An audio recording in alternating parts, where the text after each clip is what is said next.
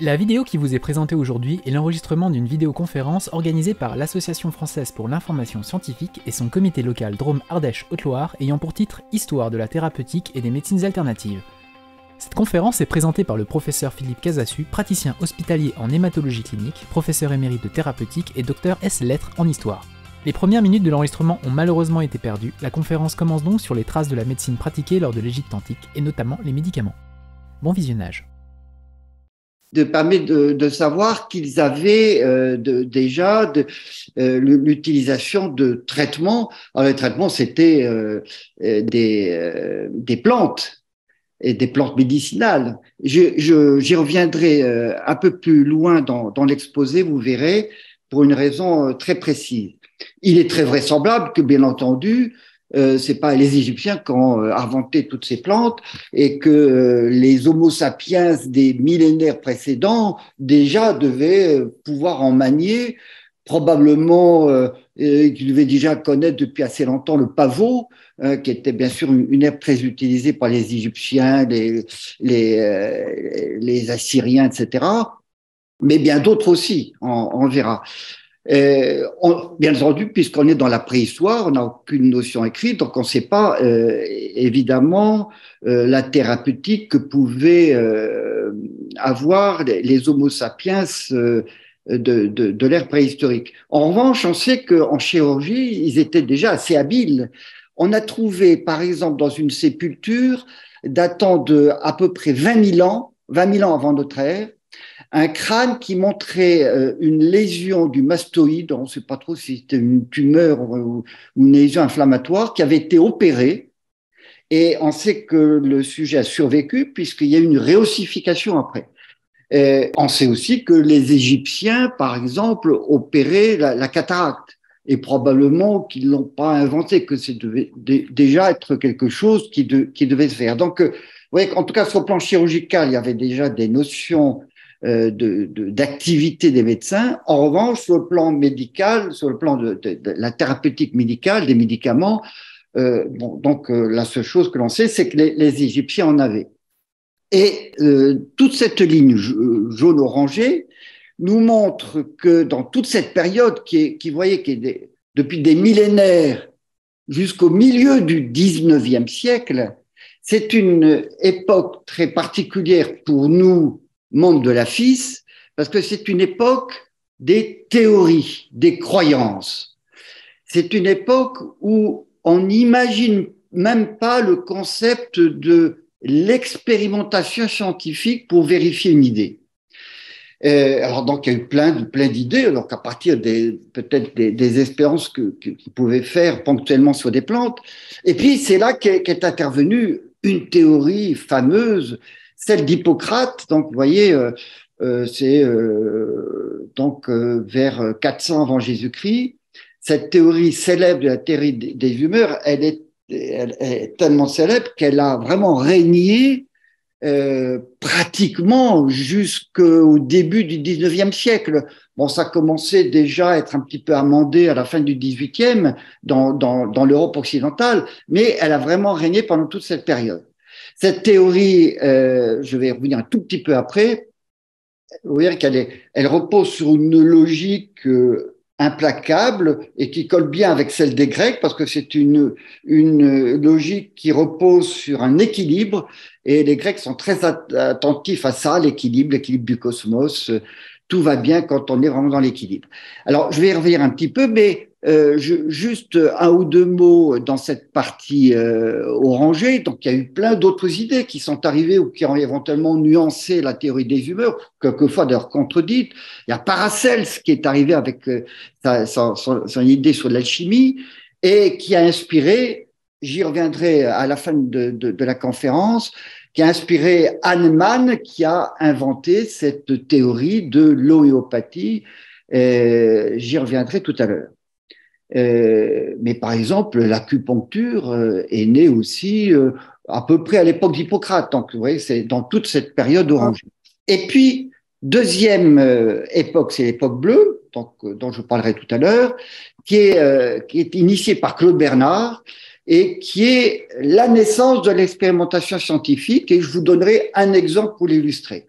Et puis, quelques conséquences que cela a entraîné et on verra aussi des éléments qui montrent que ça n'était pas parfait, puisque est intervenue ensuite, c'est la, la, ligne rouge, une nouvelle ère qui est celle euh, que nous connaissons aujourd'hui, qui existe depuis une quarantaine d'années, c'est-à-dire pratiquement depuis le moment où j'ai commencé ma carrière, mais je vous assure qu'il n'y a aucun rapport, c'est la médecine fondée sur la preuve. Et alors voilà le, le plan de, de, de, mon topo euh, avec des, des, des, chapitres qui vont être plus ou moins longs. Donc vous retrouvez les, les trois ères, l'ère, la, période des théories, la période du raisonnement fondé sur la physiopathologie et, et la justification biologique, c'est Claude Bernard. Je vais donner, je vais illustrer par quelques éléments. Et puis, donc, cette troisième ère qui est celle que nous vivons, qui est la médecine fondée sur la preuve.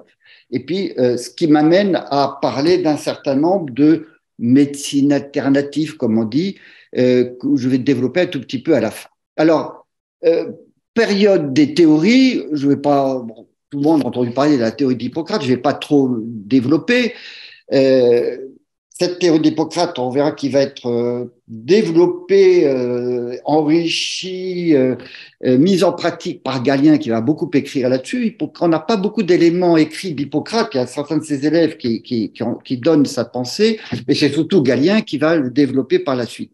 Et on sait que dans Europe occidentale, musulmans, grâce à Avicenne, et le, canon, euh, le canon d'Avicenne, euh, qui date du, XIe siècle et euh, qui, est volumineux et qui reprend euh, en particulier beaucoup des travaux de Galien. Alors voilà, je ne vais pas trop temps dessus, mais on sait que dans la, théorie d'Hippocrate, il y a quatre humeurs. Il y a le sang, la bile jaune, la bile noire. En grec, bile noire, c'est noir, mais mélanos, colis, donc c'est la mélancolie. Euh, qui, est particulièrement importante chez les gens qui vont avoir des troubles psychiatriques, hein, la mélancolie, et puis la lymphe. Et puis il y a des caractéristiques euh, de, ces humeurs. Voyez, le sang est chaud et humide, euh, la bile jaune chaude et sèche, etc. Bon.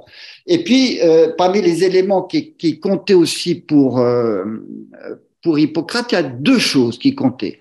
Premièrement, le, les caractéristiques de l'individu. D'ailleurs, Hippocrate était probablement un bon médecin dans le sens que qu'on imagine aujourd'hui. C'est quelqu'un qui écoutait, qui examinait, qui était attentif, qui était attentionné et qui euh, euh, tenait compte du tempérament de l'individu. On verra, on qu'il en reste des choses, j'y reviendrai un tout petit peu sur ce tempérament, mais, donc euh, il va pas avoir le même type d'attitude selon le tempérament du malade. Et puis il va aussi faire intervenir euh, le climat, euh, et en particulier les, les, saisons. Et en fonction des saisons, euh, ben, au cours de l'été chaud, l'hiver froid, il va pas avoir la même attitude. Et euh, par exemple, imagine euh, tempérament un peu euh, flegmatique chez un sujet âgé dans une période très froide, il va être moins agressif avec la saignée, par exemple, ce que ne fera pas toujours son élève lointain galien.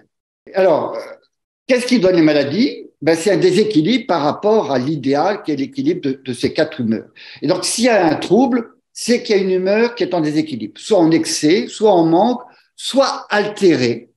Et donc, eh ben, il faut, euh, faut changer ça. Alors, on peut l'évacuer, on, peut évacuer par un émétique, faire vomir, on peut entraîner une, une, euh, une mettre un, un, lavement pour l'évacuer par, par les selles, euh, on peut faire suer, hein, et puis, euh, le nec plus ultra, quand on n'y arrive pas par les autres moyens, ou surtout quand c'est grave, eh bien, c'est la saignée.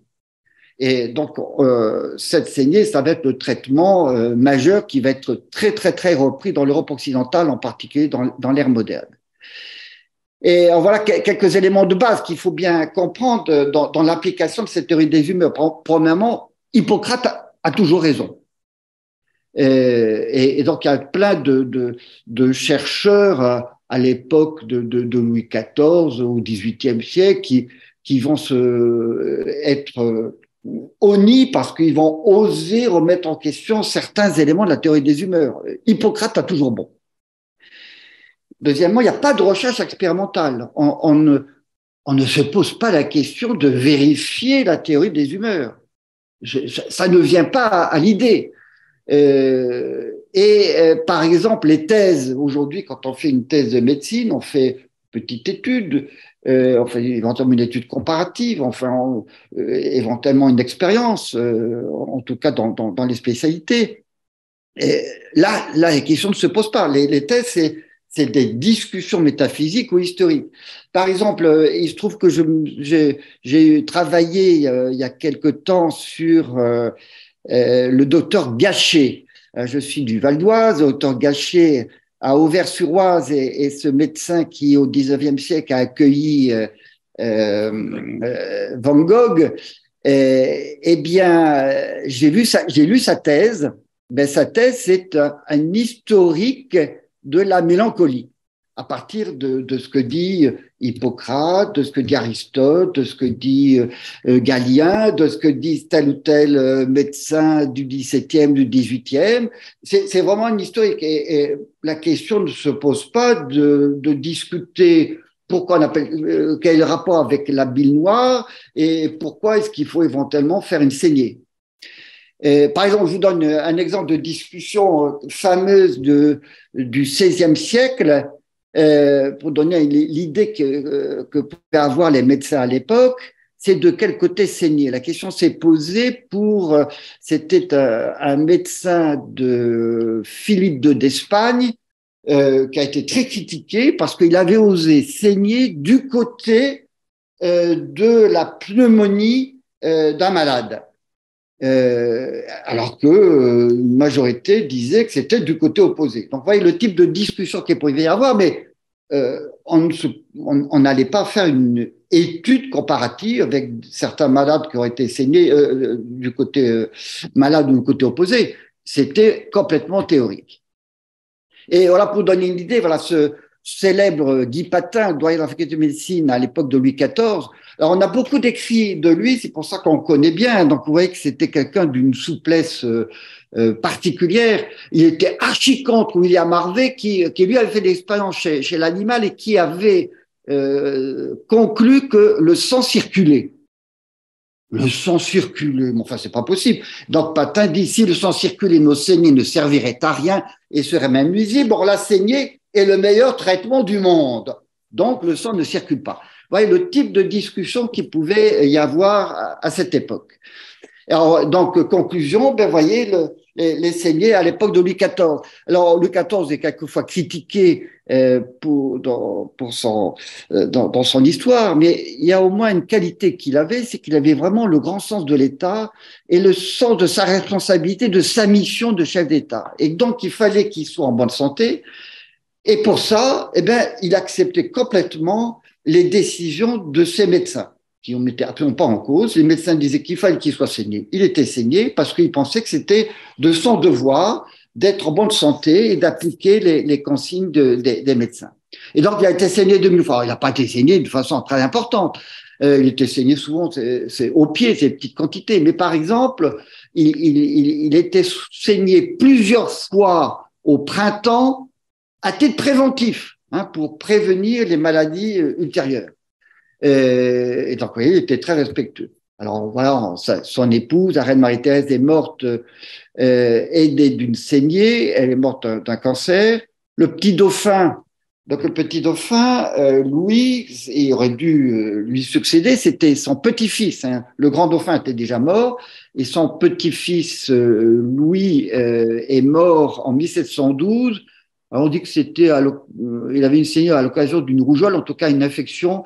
Aujourd'hui, il semble que ça serait peut-être plutôt une septicémie, peut-être même une septicémie à streptocoque. Toujours est-il qu'il est mort au cours d'une infection, euh, malgré une saignée. Et donc, euh, c'est pour ça que c'est non pas le petit-fils, mais l'arrière-petit-fils de Louis XIV qui lui a succédé, c'est Louis XV. Donc, le fils de ce petit dauphin, le petit dauphin qui qui est mort à 30 ans. Hein. Madame de Maintenon, ou 35 ans, je crois. De Maintenon, euh, donc la deuxième épouse de Louis XIV, euh, est, saignée pour ses rhumatismes. Vous voyez qu'on dit que le duc de Chartres a été euh, saigné après une chute de cheval. Mais c'est un exemple. Il y en a un qui est plus beau et puis qui est, qui est, tardif puisque Ça s'est passé en 1820. En 1820, euh, celui qui correspond à ce qu'était il n'y a pas longtemps le prince Charles, c'était le duc de Berry. Donc, on, est dans le début de la Restauration, après la, chute de Napoléon. Vous savez que c'est Louis XVIII qui euh, est devenu roi. Louis XVIII n'avait pas d'enfant. Et donc, celui qui lui, qui a succédé, c'est son frère, dernier frère, euh, dernier frère de Louis XVI, euh, c'est Charles X. Et Charles X avait un fils qui était le duc de Berry, donc l'équivalent de, notre prince Charles.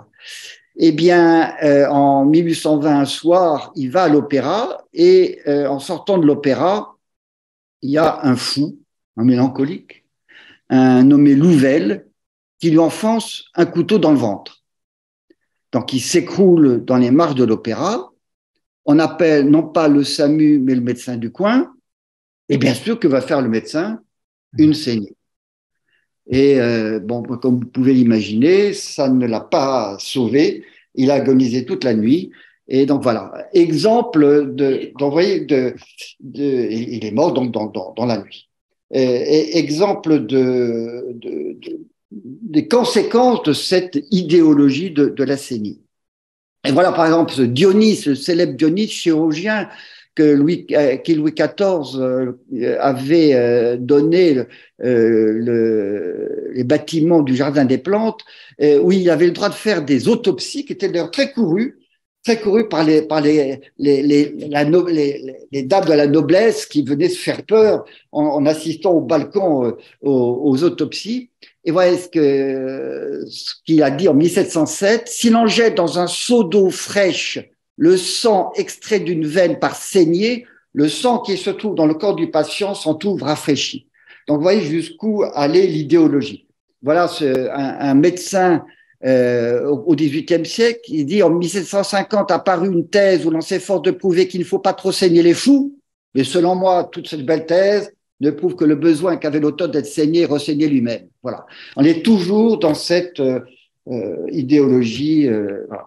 Et euh, là, bon, la saignée pratiquement va disparaître au premier tiers du 19e siècle. Mais vous voyez que le grand Brousset, qui était au, début de ce siècle un, vraiment un des grands noms de la médecine, euh, et qui considérait que l'inflammation était vraiment le principal élément qui expliquait la pathologie, et le traitement par excellence de l'inflammation, c'était les saignées un litre ou plus. Et il a développé, développé par exemple, le, le concept des, des sangsues.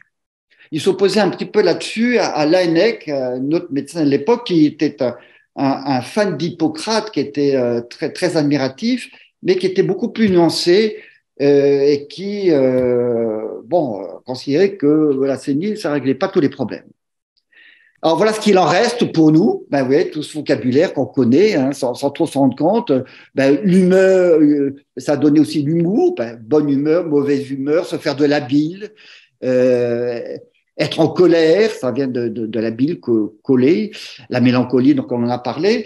La mélancolie, euh, la, la, bile noire, elle siège dans la rate, un spleen en anglais. Et on voit la, la, relation entre le spleen, la mélancolie, euh, le flegme être phlegmatique, euh, le rhume et, la goutte. La goutte, c'est euh, une mauvaise humeur qui part du cerveau et qui s'égoutte vers les articulations. Donc, vous voyez, il y a, énormément de, termes dans notre vocabulaire qui, qui découlent de cette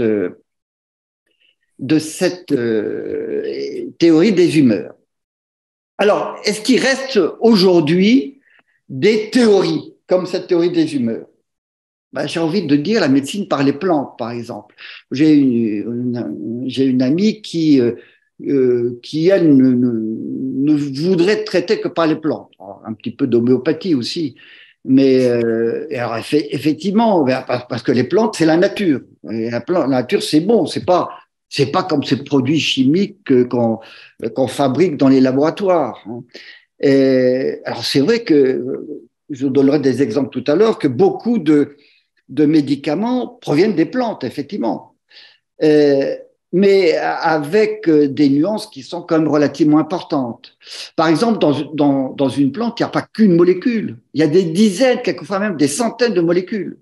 Donc, on va avoir peut-être la bonne molécule qui va peut-être être prédominante, euh, effectivement, dans une feuille de saule. Bon, il y, a une molécule qui est un peu plus prédominante. Bon, mais il va y en avoir d'autres. Euh, il va y en avoir d'autres et certaines qui n'auront aucun effet, d'autres qui peuvent avoir un effet contraire à la première, voire un effet nocif. Euh, et puis, euh, puis on ne sait pas quelle quantité donner. Euh, L'intérêt des laboratoires, c'est qu'à partir d'une molécule, on sait fabriquer la dose qu'il faut euh, et puis ne pas aller euh, au-delà. Et il y a même quelque chose de plus important à, à bien avoir à l'esprit, c'est que ce que la pharmacie nous permet d'obtenir, c'est à la fois la dose efficace et puis la limite de la dose à ne pas dépasser. Or, il y a certaines molécules pour lesquelles le, la, zone euh, d'efficacité euh, jusqu'à la dose toxique est, extrêmement limitée. Euh, par exemple, c'est en 1885, 1785 à peu près, que l'anglais biologiste et médecin Withering a découvert l'intérêt de la digitale pourprée, effectivement en montrant que ça avait une action tonicardiaque. Et c'est à partir de là qu'on a fabriqué la digitaline. Alors, je pense qu'on n'utilise plus trop maintenant, mais euh, quand j'étais interne, je donnais des gouttes de digitaline aux gens qui avaient une insuffisance cardiaque. Effectivement, c'était un traitement tonicardiaque. Mais on sait que la dose, euh, la, frontière euh, au-dessous de laquelle euh, au-dessus de laquelle plutôt il y a une, une toxicité, est, très courte et très limitée. Et ben, la digitaline, c'est aussi un poison qui a été très utilisé par Agatha Christie dans un certain nombre de ses romans. Et, donc, euh, voilà, ça fait partie de, de ces molécules qui ont une fenêtre thérapeutique, comme on dit, extrêmement étroite. Il y en a d'autres. Il y a la quinine, dont je parlerai aussi, euh, premier traitement euh, majeur du paludisme, avec quelques dérivés. Euh, je ne sais pas si vous avez entendu parler de l'hydroxychloroquine. Eh bien, il est sûr que euh, on sait bien que ces, ces médicaments, à partir de certaines doses, ont une toxicité, et là aussi, comme la digitaline, une toxicité cardiaque qui peut aller jusqu'à l'arrêt cardiaque. Donc voilà, la médecine par les plantes, ben c'est tout à fait dangereux si on si, si on n'y on fait pas attention. Je je passe sur les, les régimes amaigrissants miracles euh, dont on entend parler régulièrement dans les, à la télévision ou ailleurs. Hein. En particulier, moi, je suis très frappé par euh, un moment on parlait du régime protidique, un, autre c'est le régime sans protide qui est miraculeux, etc. Enfin bref, il y en a plein de ce genre-là. Les végétaliens, je vais pas trop insister. Bon, il y a, il y a des végétaliens par un peu idéologie. Euh, alors, il est très vraisemblable qu'il y a 20 ou 30 000 ans, euh, il y avait des Homo sapiens qui ont très très bien vécu en étant végétaliens. C'est ceux qui ont, qui ont mis en place les premiers temps de l'agriculture. Mais, aujourd'hui, euh, l'Homo sapiens moderne que nous, sommes est un, un Homo sapiens qui est omnivore. Il ne doit pas être carnivore absolu, ni euh, herbivore absolu, parce qu'il y a des manques. Quand on est végétalien, euh, il y a des manques, on manque de, de fer, malgré euh, Popeye et ses, et ses boîtes d'épinards. Euh, le fer est, est, pas très important pas, en grande quantité dans, dans, les végétaux et surtout beaucoup moins assimilable que le fer animal. il manque de, de vitamine B12 euh, il y a un manque de zinc, enfin d'un certain nombre d'éléments. ça peut être compensé par des, par des, des ajouts en comprimé, mais enfin, euh, bon, c'est sûr qu'être végétalien pur, c'est en tout cas médicalement, c'est pas pas très pertinent. Les médecines naturelles euh, ou alternatives, euh, à mon époque, on parlait souvent de médecine euh, parallèle. J'ai un, un, de mes collègues qui dit c'est plutôt les médecines perpendiculaires. Bon, bref. Et, ben, il y a la naturopathie, qui pour moi, bien souvent, euh, ce qui est le plus proche de du charlatanisme. L'iridologie, alors je vous ai donné un exemple ici, je ne sais pas si vous voyez cette plaque avec, euh, et je, je suis assez abasourdi que que ça puisse euh, être encore opérationnel. Vous voyez qu'en fonction de, de telle zone de couleur qui serait plus ou moins étendue, bien, bien euh, le, le, spécialiste dirait ben vous êtes malade du poumon ou bien vous avez quelque chose au diaphragme ou au rectum. Enfin bref, euh, la mésothérapie, le magnétisme, l'ostéopathie. Euh, bon, peut-être que je, je, je, je, préfère pas prendre trop de temps, mais pour vous raconter une anecdote, parce que j'ai une autre casquette qui est d'être président d'un comité de protection des personnes. C'est les comités d'éthique qui euh, évaluent les essais thérapeutiques. Et on a vu passer, enfin, ils, ils donnent l'accord éventuellement ou, refusent. On a vu passer récemment un, dossier d'ostéopathie. De, moi, je suis, a priori, bon, avec une attitude scientifique d'aujourd'hui, euh, je suis prêt, même si je ne comprends pas l'ostéopathie, à ce qu'on me donne des résultats d'une étude non biaisée qui montrerait un effet. Euh, mais il faut qu'elle soit, quand on a vu une étude qui, ouais, bah, ça, l'ostéo, le temps vasculaire de l'ostéopathie pour le traitement des lombalgies, euh, associé à euh, un trouble hépatodigestif. Alors déjà, hépatodigestif, on savait pas c'est quoi, le foie, le côlon, il y avait tous les symptômes à la fois. Donc, vous voyez, c'était un peu singulier. Euh, bon, euh, homéopathie, acupuncture, on y reviendra. Euh, je, je vous en parlerai euh, à la fin de l'exposé. Alors, il y a aussi, à côté de toutes ces théories, il y a les explications spirituelles les dieux, euh, vous avez peut-être vu dans, dans, le schéma que je vous donnais qu'à l'époque des, des, Égyptiens, et, considère que beaucoup de maladies étaient provoquées, induites par les dieux, et on allait éventuellement euh, faire des sacrifices à la déesse Sekhmet, là que je vous montre ici, euh, la déesse Sekhmet euh, qui euh, peut être très méchante, et donc il faut faire des sacrifices pour être protégé contre telle ou, ou telle maladie.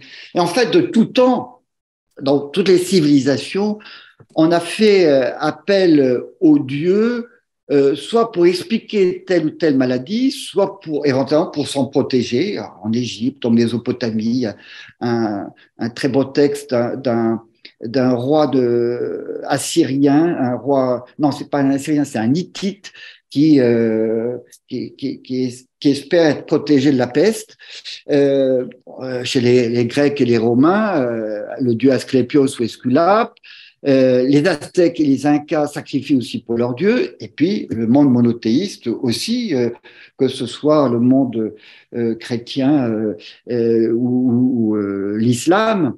Alors, juste quelques mots, je ne vais pas trop développer. Mon, mon idée, c'est pas de, discuter de théologie, mais, juste, bon, il y a à l'évidence eu un, des, certain d'excès sur ce plan-là euh, avec mise en place de pèlerinages autour de reliques de, saints, et euh, qui permettent. Alors, les saints étaient euh, dans l'Église catholique, euh, en particulier, ça s'est quand même fait beaucoup au Moyen Âge ou à l'ère moderne, euh, où on, on, on, met en cause pour les maladies une punition de Dieu et en particulier quand il y a des épidémies, euh, euh, la peste, etc. Mais quand une maladie dans une famille, ben, c'est probablement qu'il y a eu un péché, il y a eu euh, un comportement mauvais, et, et, donc pour y remédier, eh bien, il faut faire pénitence, éventuellement faire un pèlerinage, aller demander l'aide d'un saint. Je vais vous en donner quelques-uns, mais sont, sont trop embêtants parce qu'on pourrait euh, développé beaucoup. Alors là, j'ai commencé par, par la peste. La peste, c'est quand même assez extraordinaire. Bon, vous savez qu'il y a Saint-Roch. Saint-Roch est un des saints les plus populaires. Il y a énormément d'églises, notamment en France, qui possèdent soit une statue, soit un tableau, soit un vitrail représentant Saint-Roch.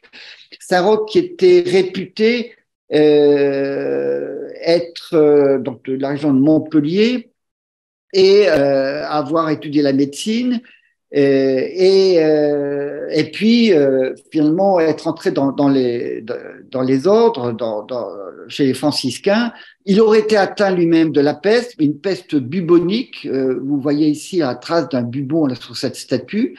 Euh, et donc, c'est fait qu'il s'est réfugié dans un, bois où il était nourri régulièrement par son chien qui lui apportait vous voyez, des, euh, un morceau de pain. Euh, et il a guéri parce qu'il avait une forme bubonique qui n'a pas atteint les poumons. Et il se serait ensuite consacré, il est parti en Italie, il se serait consacré au, euh, à aux soins des pestiférés.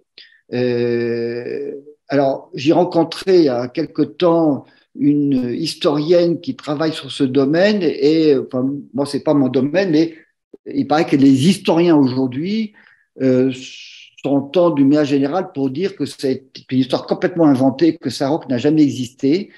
Euh, mais enfin toujours est-il même s'il n'a jamais existé on qu'il était censé être euh, né euh, donc au début du, du 14e siècle au, euh, au moment où il y a eu cette grande peste noire euh, en Europe et, et il, y a, des reliques euh, qui, euh, de lui, qui sont réputés de lui, euh, qui ont amené à construire une, église à Venise, San Rocco, à la fin du 15e. À la fin du 15e. C'était tellement célèbre qu'il y a des, gens de toute l'Europe, y compris des îles britanniques, qui venaient en pèlerinage à San Rocco pour se protéger contre la peste. Il y a même eu euh, lors des guerres euh, avec les euh, le, le Charles Quint et, Philippe II, les, les, Espagnols auraient enlevé les, les, les reliques de Saroc, les auraient euh, emportées à, à, Valence, et puis finalement seraient revenus à San Rocco. Donc vous voyez que c'était quand même très disputé et, très célèbre, euh, et, ça a montré aussi l'importance de, ce besoin de se faire protéger contre cette épidémie de peste dramatique qui faisait peur à tout le monde. Alors ce qui est assez drôle, c'est de voir aussi Saint Sébastien. Saint Sébastien, lui, c'était un légionnaire romain à l'époque de la grande persécution de Dioclétien, qui, euh, qui a été persécuté. Vous il a été, euh, on lui a tiré des flèches, il n'en serait pas mort.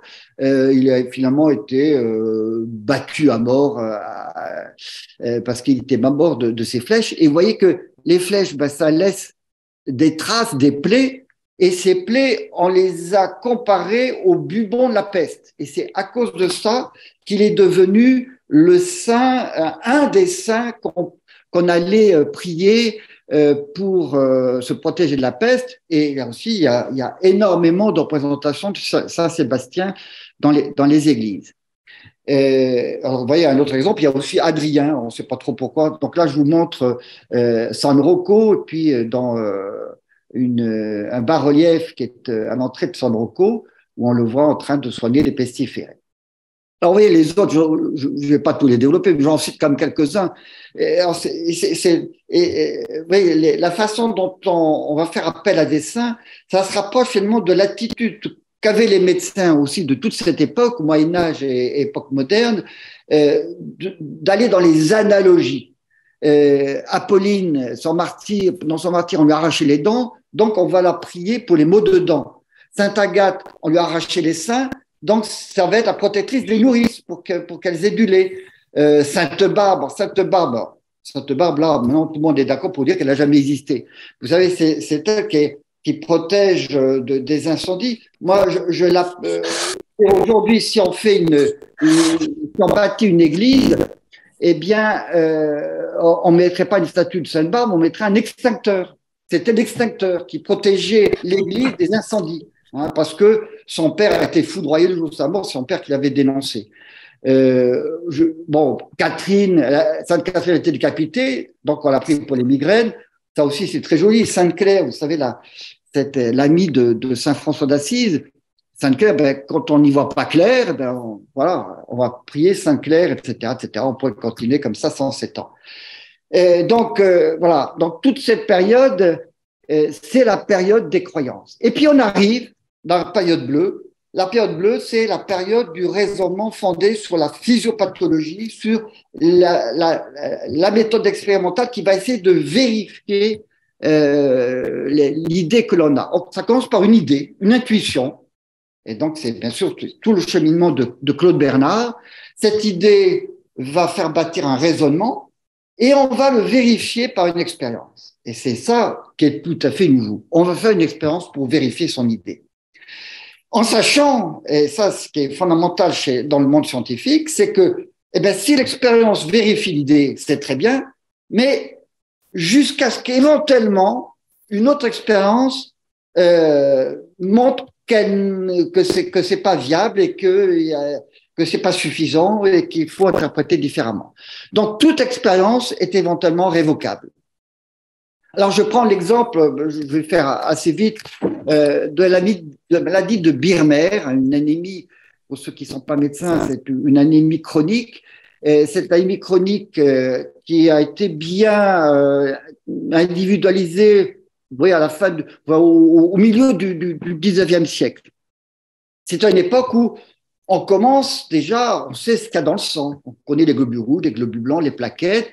On sait ce que c'est qu'une anémie depuis le début du siècle. On, a un microscope pour euh, étudier les globules du sang. On sait que les gens qui, ont une anémie, qui n'ont pas beaucoup de globules rouges, sont pâles et puis sont fatigués en toute une série d'éléments. Et puis, on sait qu'il y a des anémies qui se corrigent et puis d'autres qui sont inéluctablement mortelles sur des années. Et ben, on les appelle pernicieuses. Et en particulier cette anémie, décrite au début par Radisson, puis euh, ça va être complété par le nommé Birmer, qui est celui qui va donner nom à cette anémie pernicieuse. Alors je passe sur les détails, mais sauf un certain nombre de choses. On se rend compte qu'il y a n'y a pas que l'anémie, il y a des signes neurologiques, il y a des signes digestifs, il y a une glossite. La glossite, c'est l'inflammation de, la langue. Et la langue qui est toute ulcérée. Donc, on voit qu'il y, a quelque chose qui se passe dans le tube digestif. Et puis, euh, il y a même un, Anglais qui, à partir de, euh, de, l'autopsie, va noter que chez, dans ces grandes anémies pernicieuses qui vont finir par mourir, eh bien, il y a un estomac atrophié. Donc, décidément, cette anémie s'associe à, un trouble digestif. Et euh, puis, il y a même de la diarrhée. Vous voyez, dix ans plus tard, un autre chercheur va, va trouver que dans l'estomac, il n'y a plus l'activité des enzymes de la digestion, des enzymes protéolytiques. Euh, et puis, vous voyez que en 1900, donc vous voyez, ça s'étale jusqu'à la fin du, du, de ce 19e siècle, un nommé Faber va trouver qu'il y a plus de fabrication d'acide chlorhydrique, qui est une des caractéristiques, l'acidité de l'estomac. Donc, je passe sur les autres détails. Euh, alors, qu'est-ce que c'est que cette maladie? Cette c'est une anémie chronique pernicieuse qui va être mortelle. C'est une époque euh, à la fin d'année tiers du 19e siècle où on commence à, découvrir une maladie grave qui est la leucémie, où il y a beaucoup de globules blancs, il y a aussi euh, une anémie, puis les gens meurent très, tout de suite. Bon. Alors celle-là, ben, ça ressemble, c'est pas tout à fait ça, parce qu'il n'y a pas beaucoup de globules blancs. Au contraire, il n'y en a même pas, pas, du tout, enfin très peu. Euh, et donc on va parler de pseudoleucémie. Cette pseudoleucémie, euh, on la comprend pas très bien, mais on voit qu'il y a aussi des troubles digestifs. Hein. Et donc, ces troubles digestifs vont donner l'idée de faire des recherches sur le plan digestif. Et voilà qu'en 1924, il y a deux chercheurs qui vont faire une trouvaille. En fait, ils vont se planter dans, le raisonnement, euh, mais, ça va nous aider à trouver la solution. Ils vont, à partir de chiens qu'ils ont saignés, ils vont leur faire ingérer du foie de veau et ça va réparer l'anémie. Ah, formidable Ils ont trouvé un traitement à l'anémie. Alors en fait, euh, ben, si les, chiens ont été saignés, ben, ils vont manquer de fer. Et il y a plein de fer dans le foie et c'est le fer du foie qui répare l'anémie. Mais ça va être repris. Ça va être repris, vous voyez, par les nommés Minot et Murphy, qui, eux, vont tester le foie cru euh, vont faire ingérer à des vraies anémies pernicieuses. Oh, formidable euh, Ils guérissent ces anémies pernicieuses. Et vous voyez que même euh, un an plus tard, euh, deux, deux, cas d'anémies pernicieuses presque, presque mourants, qui en, moins d'un mois sont guéris. Comme toujours en médecine ou dans les sciences, Bien sûr, ça va être lié. Chacun sait que cette maladie est mortelle. Donc, si votre malade est guéri, c'est qu'il n'avait pas une anémie pernicieuse, évidemment. Bon, ça, c'est très courant dans, dans, dans l'histoire de la médecine. Mais ça n'empêche que voilà, on a, on a trouvé, en tout cas, il y a des anémies qui ont l'air d'être pernicieuses, d'être mortelles, qui ont des troubles digestifs. On leur donne du, foie de veau euh, euh, écrasé euh, et ça se répare. Eh bien, c'est tellement vrai que moi, j'ai eu la chance, l'honneur, de, de, la joie d'avoir comme patron Jean Bernard, celui qui a un peu créé l'hématologie française. Eh Jean Bernard, dans ces années-là, était interne euh, à l'hôpital Lariboisière et racontait que avec ses collègues, leur patron leur demandait d'aller chez le boucher acheter du foie de veau et qu'ils écrasaient, qu'ils faisaient ingérer cru aux malades. Donc, voyez, ça a été l'application de ça. Et effectivement, on a ainsi guéri les premiers euh, cas de, cette anémie pernicieuse, dite ensuite de Birmer, de. Et on a trouvé ce qui a permis, euh, ce qui permettait de guérir, c'est que dans, le foie, il y a un élément qu'on a mis beaucoup de temps à isoler, 1948.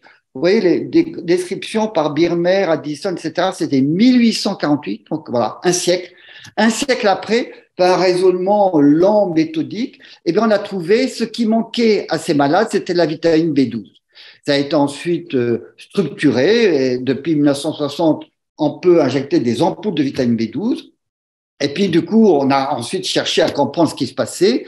Mais on a vu que, effectivement, chez ces malades, l'estomac était atrophié. non seulement il fabriquait pas les, enzymes, mais il fabriquait pas non plus une substance qu'on appelle le facteur intrinsèque, qui est nécessaire euh, pour se fixer sur le facteur extrinsèque apporté par la nourriture, qui est la vitamine B12, pour permettre à la vitamine B12 d'être absorbée au niveau intestinal. Quand il n'y a pas de facteur intrinsèque, on peut ingérer toute la vitamine B12 que l'on veut. Enfin, si on prend une grande quantité, il y en a un tout petit peu qui va, qui, euh, ce qui explique les, cas d'amélioration euh, qui avaient été observés, mais que c'est pas suffisant parce que euh, on a besoin de ce facteur intrinsèque pour être absorbé. C'est pour ça que les premiers traitements de la Birmer, c'était en, injectable. Ça, ça reste d'ailleurs le traitement essentiel de la vitamine B12 la vitamine B12, euh, de la Birmer, la vitamine B12 injectable. Alors, euh, pour euh, développer un petit peu ce qu'a apporté cette, la théorie de, de, de Claude Bernard, l'expérimentation, euh, ben ça a permis de, beaucoup de euh, beaucoup d'apports thérapeutiques. Hein. C'est comme ça qu'on a euh, compris le, diabète, qu'on a fini par trouver l'insuline, qu'on a utilisé la corticothérapie, d'abord la cortisone chez les insulinaliens. Et puis euh, qu'on a commencé à, comprendre les cancers. Et puis, bon, on a trouvé un certain nombre de, médicaments. Je vais aller un petit peu vite, mais euh, je donne quelques exemples. Certains vont nous servir à la fin de l'exposé. Et, souvent, c'est le hasard qui va être le point de départ. Euh, mais le hasard, euh, le hasard, ça implique qu'il y ait quelqu'un qui se pose une question, qui a, qui une curiosité. Ce qui est arrivé, par exemple, au cours de la guerre 14-18. Au cours de la guerre 14-18, il y a euh, des euh, navires euh, des Alliés qui étaient au large de d'Ypres, qui étaient occupés par les Allemands. Et, il y a, les, bateaux allemands ont attaqué les bateaux alliés en envoyant un, un gaz qui s'appelle le gaz moutarde et qui a entraîné plein de conséquences dramatiques, beaucoup de morts par asphyxie. Et ceux qui survivaient, les soldats qui survivaient, avaient des lésions cutanées. Là, on, voit ces, lésions cutanées avec voyez, espèces de cloques, des ulcérations, des ulcérations aussi euh, euh, dans, la bouche, des problèmes oculaires.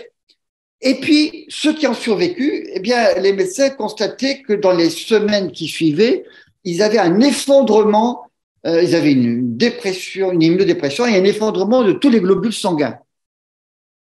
Et puis il y en a qui se sont posé la question comment, puis qui ont cherché ensuite au laboratoire euh, à partir du, gaz moutarde, ils ont essayé de trouver ce qu'il pouvait y avoir dedans, et c'est comme ça qu'on a trouvé ce qu'on appelle les alkylants, qui étaient les moutardes à l'azote. Ça a été les premiers anticancéreux, parce que on s'est rendu compte que ces molécules eh bien, elle bloquait la fabrication des globules dans la moelle, ça bloquait les, les mitoses, puis au bout d'un certain temps, ça se réparait, donc les gens finissaient par récupérer. Mais donc, euh, si ça bloquait les mitoses des bons globules de la moelle, peut-être que ça peut bloquer les mitoses des cancers. Et c'est comme ça qu'on a commencé. Et les premiers traitements, les premières chimiothérapies, comme le melphalan, le, vous verrez tout à l'heure, j'en parlerai dans le myélome, ou le cyclophosphamide ou endoxan, eh bien, c'est dérivé, euh, c'est tiré de ça. Les eucalyptes de la pervenche, on s'en est aperçu euh, dans, au Québec où euh, il y avait des, champs de pervenche qui étaient associés à des monastères de, religieuses qui fabriquaient un parfum à partir de là et on a constaté que beaucoup de ces religieuses manquaient de globules blancs. Et là aussi, il y a un curieux qui s'est posé la question pourquoi? Bien, on a trouvé qu'il y a des, molécules tirées de, la pervenche, les alcaloïdes de la pervenche, qui bloquent aussi les mitoses. Et ça a été aussi toute une famille d'anticancéreux qui agit de façon différente des autres. Et ça a été d'ailleurs les premières combinaisons de chimiothérapie euh, très très utile en particulier dans, en, hématologie, dans les leucémies, les lymphomes, le myélome notamment. Alors celui-là, vous le connaissez, Fleming. Fleming, c'était donc un bactériologiste qui travaillait euh, dans un laboratoire de Londres, la St. Mary's Hospital. Et voilà que euh, un, samedi de euh, fin août ou début septembre, je ne me souviens plus, euh, il part en, euh, en week-end et figurez-vous qu'il faisait beau à Londres, c'était l'été, et il a laissé ouvert ses fenêtres. Et quand il est revenu le lundi matin dans son laboratoire, vous voyez, là, il y a ces boîtes qu'on appelle les boîtes de pétri, où euh, on cultive des, bactéries, et il regarde ces boîtes de pétri, en particulier, il cultivait les staphylocoques, des cultures de staphylocoques, et puis qu'est-ce qu'il voit? Ben, il voit qu'il y a des, des, gros trous, il y a une partie de ces cultures qui, qui euh, ont été détruites. Alors là encore, il y a, il y a peut-être que quelqu'un aurait pu prendre les, les, euh, ces boîtes et dire oh là là, ça a été salopé, les, les, les fiches de, à la poubelle. Mais lui, il s'est dit pourquoi? Il a regardé son microscope et il a vu cette image bizarre, un peu pénicillée. Et il dit ça, c'est bizarre il en a pris un peu, il l'a mis dans une boîte qui était intacte, il a vu que le, même, le phénomène se refaisait. Et donc, il s'est dit que euh, il, y a, euh, y a donc euh, une substance qui est dérivée de, cette, de, de, de ce qui est parti, de, qui, qui, qui, semble être un champignon, et qui, qui tue les bactéries. Et c'est à partir de là qu'on a trouvé la pénicilline. Il s'est associé avec des chimistes de Boston et ils ont fabriqué les, euh, donc les premières molécules de pénicilline. Ils ont testé chez, testé dans, chez un enfant euh, infecté euh, qui avait une angine. Euh, et puis, donc, il y a eu des, des, des cas de septicémie qui ont été traités. Et, et ça, ça, ça a pris beaucoup d'envergure en 44 lors du débarquement des, des Américains, des GIs en, en Italie où ils ont porté des, milliers et des milliers de stocks de pénicilline qui ont été très utiles pour tester leurs blessés qui risquaient de s'infecter, comme souvent dans les, les, de guerre. Et ça a été le point de départ donc euh, du premier antibiotique qui va donner bien sûr son prix Nobel. Bon, je ne vais pas trop m'étendre là-dessus sur l'écorce de Saul, euh, sauf que les Égyptiens avaient déjà euh, l'usage de, des, des, écorces de saule, des décoctions de saule pour, tous ces effets de ce qui a donné l'acide salicylique, l'aspirine. Euh, oui, mais il a, fallu du temps. Hein. C'est à la fin du 19e siècle qu'on a synthétisé l'acide salicylique, alors que euh, oui, c'était utilisé déjà de, de, très longue date. De même que, que le, le quinquina, le quinquina qui, euh, qui vient de, d'Amérique rapporté par les jésuites qui avaient remarqué que les Indiens d'Amérique se soignaient contre la malaria par euh, justement des décoctions de, de ces écorces de quinquina. Euh, ça a fini par rentrer euh, en France à, la cour de Versailles, difficilement, parce que celui qui l'a fait entrer, c'était un médecin anglais. Alors, vous comprenez que les médecins français avaient du mal à accepter que le médecin anglais vienne euh, euh, se mêler euh, et gêner l'usage de la saignée en apportant euh, ce, ce, ce, produit. Et finalement, ça a marché. Louis XIV a été soigné euh, par l'extrême de quinquina. Euh, et vous savez qu'à l'époque de Louis XIV, il y avait des marées à, à, Versailles et la malaria était vraiment courante. Louis XIV a beaucoup souffert de ça. Et donc, ça a fait fureur, bien sûr, à la cour de Louis XIV. Et ça a été donc le début de l'usage de, de, ce qui va être donné la quinine. Et puis, bon, hydroxychloroquine, etc. Euh, tout ça dont j'ai parlé tout à l'heure. Mais et donc, on pourrait dire, ça y est, on a la solution. Maintenant, on sait qu'il faut faire une expérimentation et à partir de, de quelque chose. Bon, les, extraits de, de quinine, ça, ça traite euh, le, euh, le paludisme. Et, ensuite, euh, comment est-ce qu'on arrive à plus loin? Ben, on, est arrivé justement à, fabriquer la molécule de, quinine. Eh bien, euh, on va voir que ça n'est quand même pas suffisant euh, et ça ne permet pas de régler tous les problèmes. Et je donne l'exemple par ce euh, traitement de l'hypercholestérolémie. Tout le monde est d'accord pour dire qu'un excès de cholestérol est associé à la mortalité cardiovasculaire, au risque d'angine de poitrine et d'infarctus du myocarde. À l'époque où j'étais étudiant, les fibrates avait prouvé qu'il diminuait le taux de cholestérol. Donc, il est logique d'utiliser les fibrates chez des gens qui ont une hypercholestérolémie pour les protéger euh, des accidents cardiovasculaires. Et donc, moi, j'ai prescrit plein de fibrates quand j'étais interne. Et puis, patatras. Euh, vous voyez que secondairement, donc là, les fibrates, c'est dans les années 70, mais euh, vous voyez que des études, une série de méta-analyses, je reviendrai sur les méta-analyses juste après, donc une succession d'articles, d'études qui se rajoutent les unes aux autres pour amplifier le nombre de malades.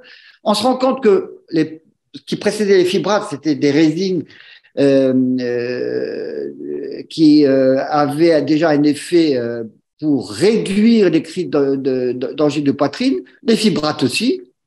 Mais quand on voit la mortalité coronarienne, elle n'était pas significativement abaissée. NS, ça veut dire que c'est euh, c'est pas significatif par rapport à ce que pourrait donner le hasard.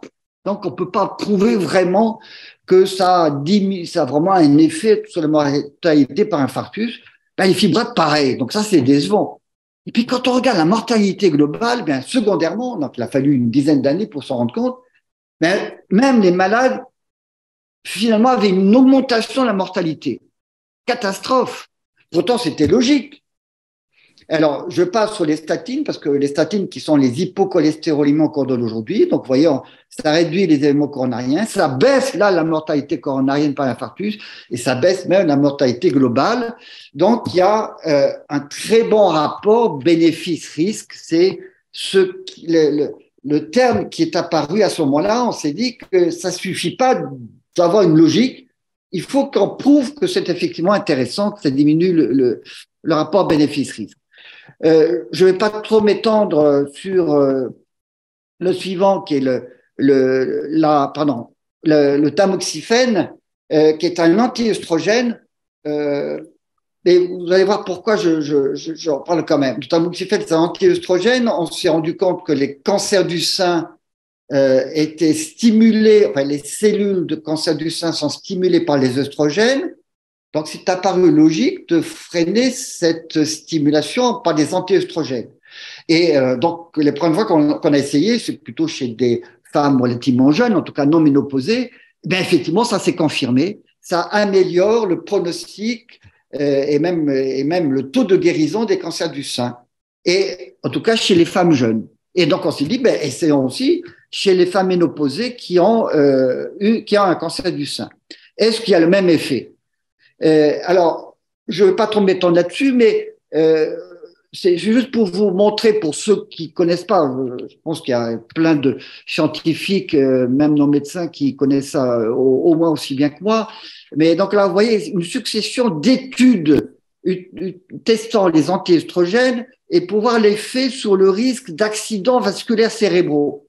Alors, vous voyez que là, il y a une, série de 142 malades où euh, on voit que voyez, une population qui est relativement petite, euh, où euh, si on est à 1, ça veut dire qu'il y a autant, il n'y a pas plus de risque avec ou sans anti-œstrogène d'avoir un accident vasculaire cérébral. Donc, vous voyez que là, il y a une répartition euh, extrêmement vaste qui ne permet pas de conclure. Vous voyez que ici, on a 1800, 1300, 13 000 malades, un, nombre de malades beaucoup plus important, ce qui réduit euh, le, phénomène du hasard euh, dans la dispersion des, résultats. Et vous voyez que plus on, augmente le nombre de malades, plus on voit que ben, la moyenne qui correspond à ce point noir, la moyenne est du côté de, il y a plus de risques,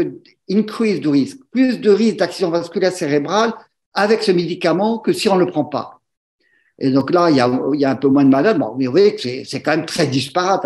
Il faut savoir exactement quelles sont les, les, les populations et les populations combien disparates. Mais quand on fait euh, le total sur 38 900 euh, malades, et vous voyez que ça rétrécit beaucoup, beaucoup la répartition des, des, euh, des, paramètres et que ben, la moyenne, elle est à 1,5, donc ça augmenterait de 1,5 euh, le, le, le taux d'accident vasculaire cérébral avec une, une répartition qui est franchement du côté de l'augmentation du risque.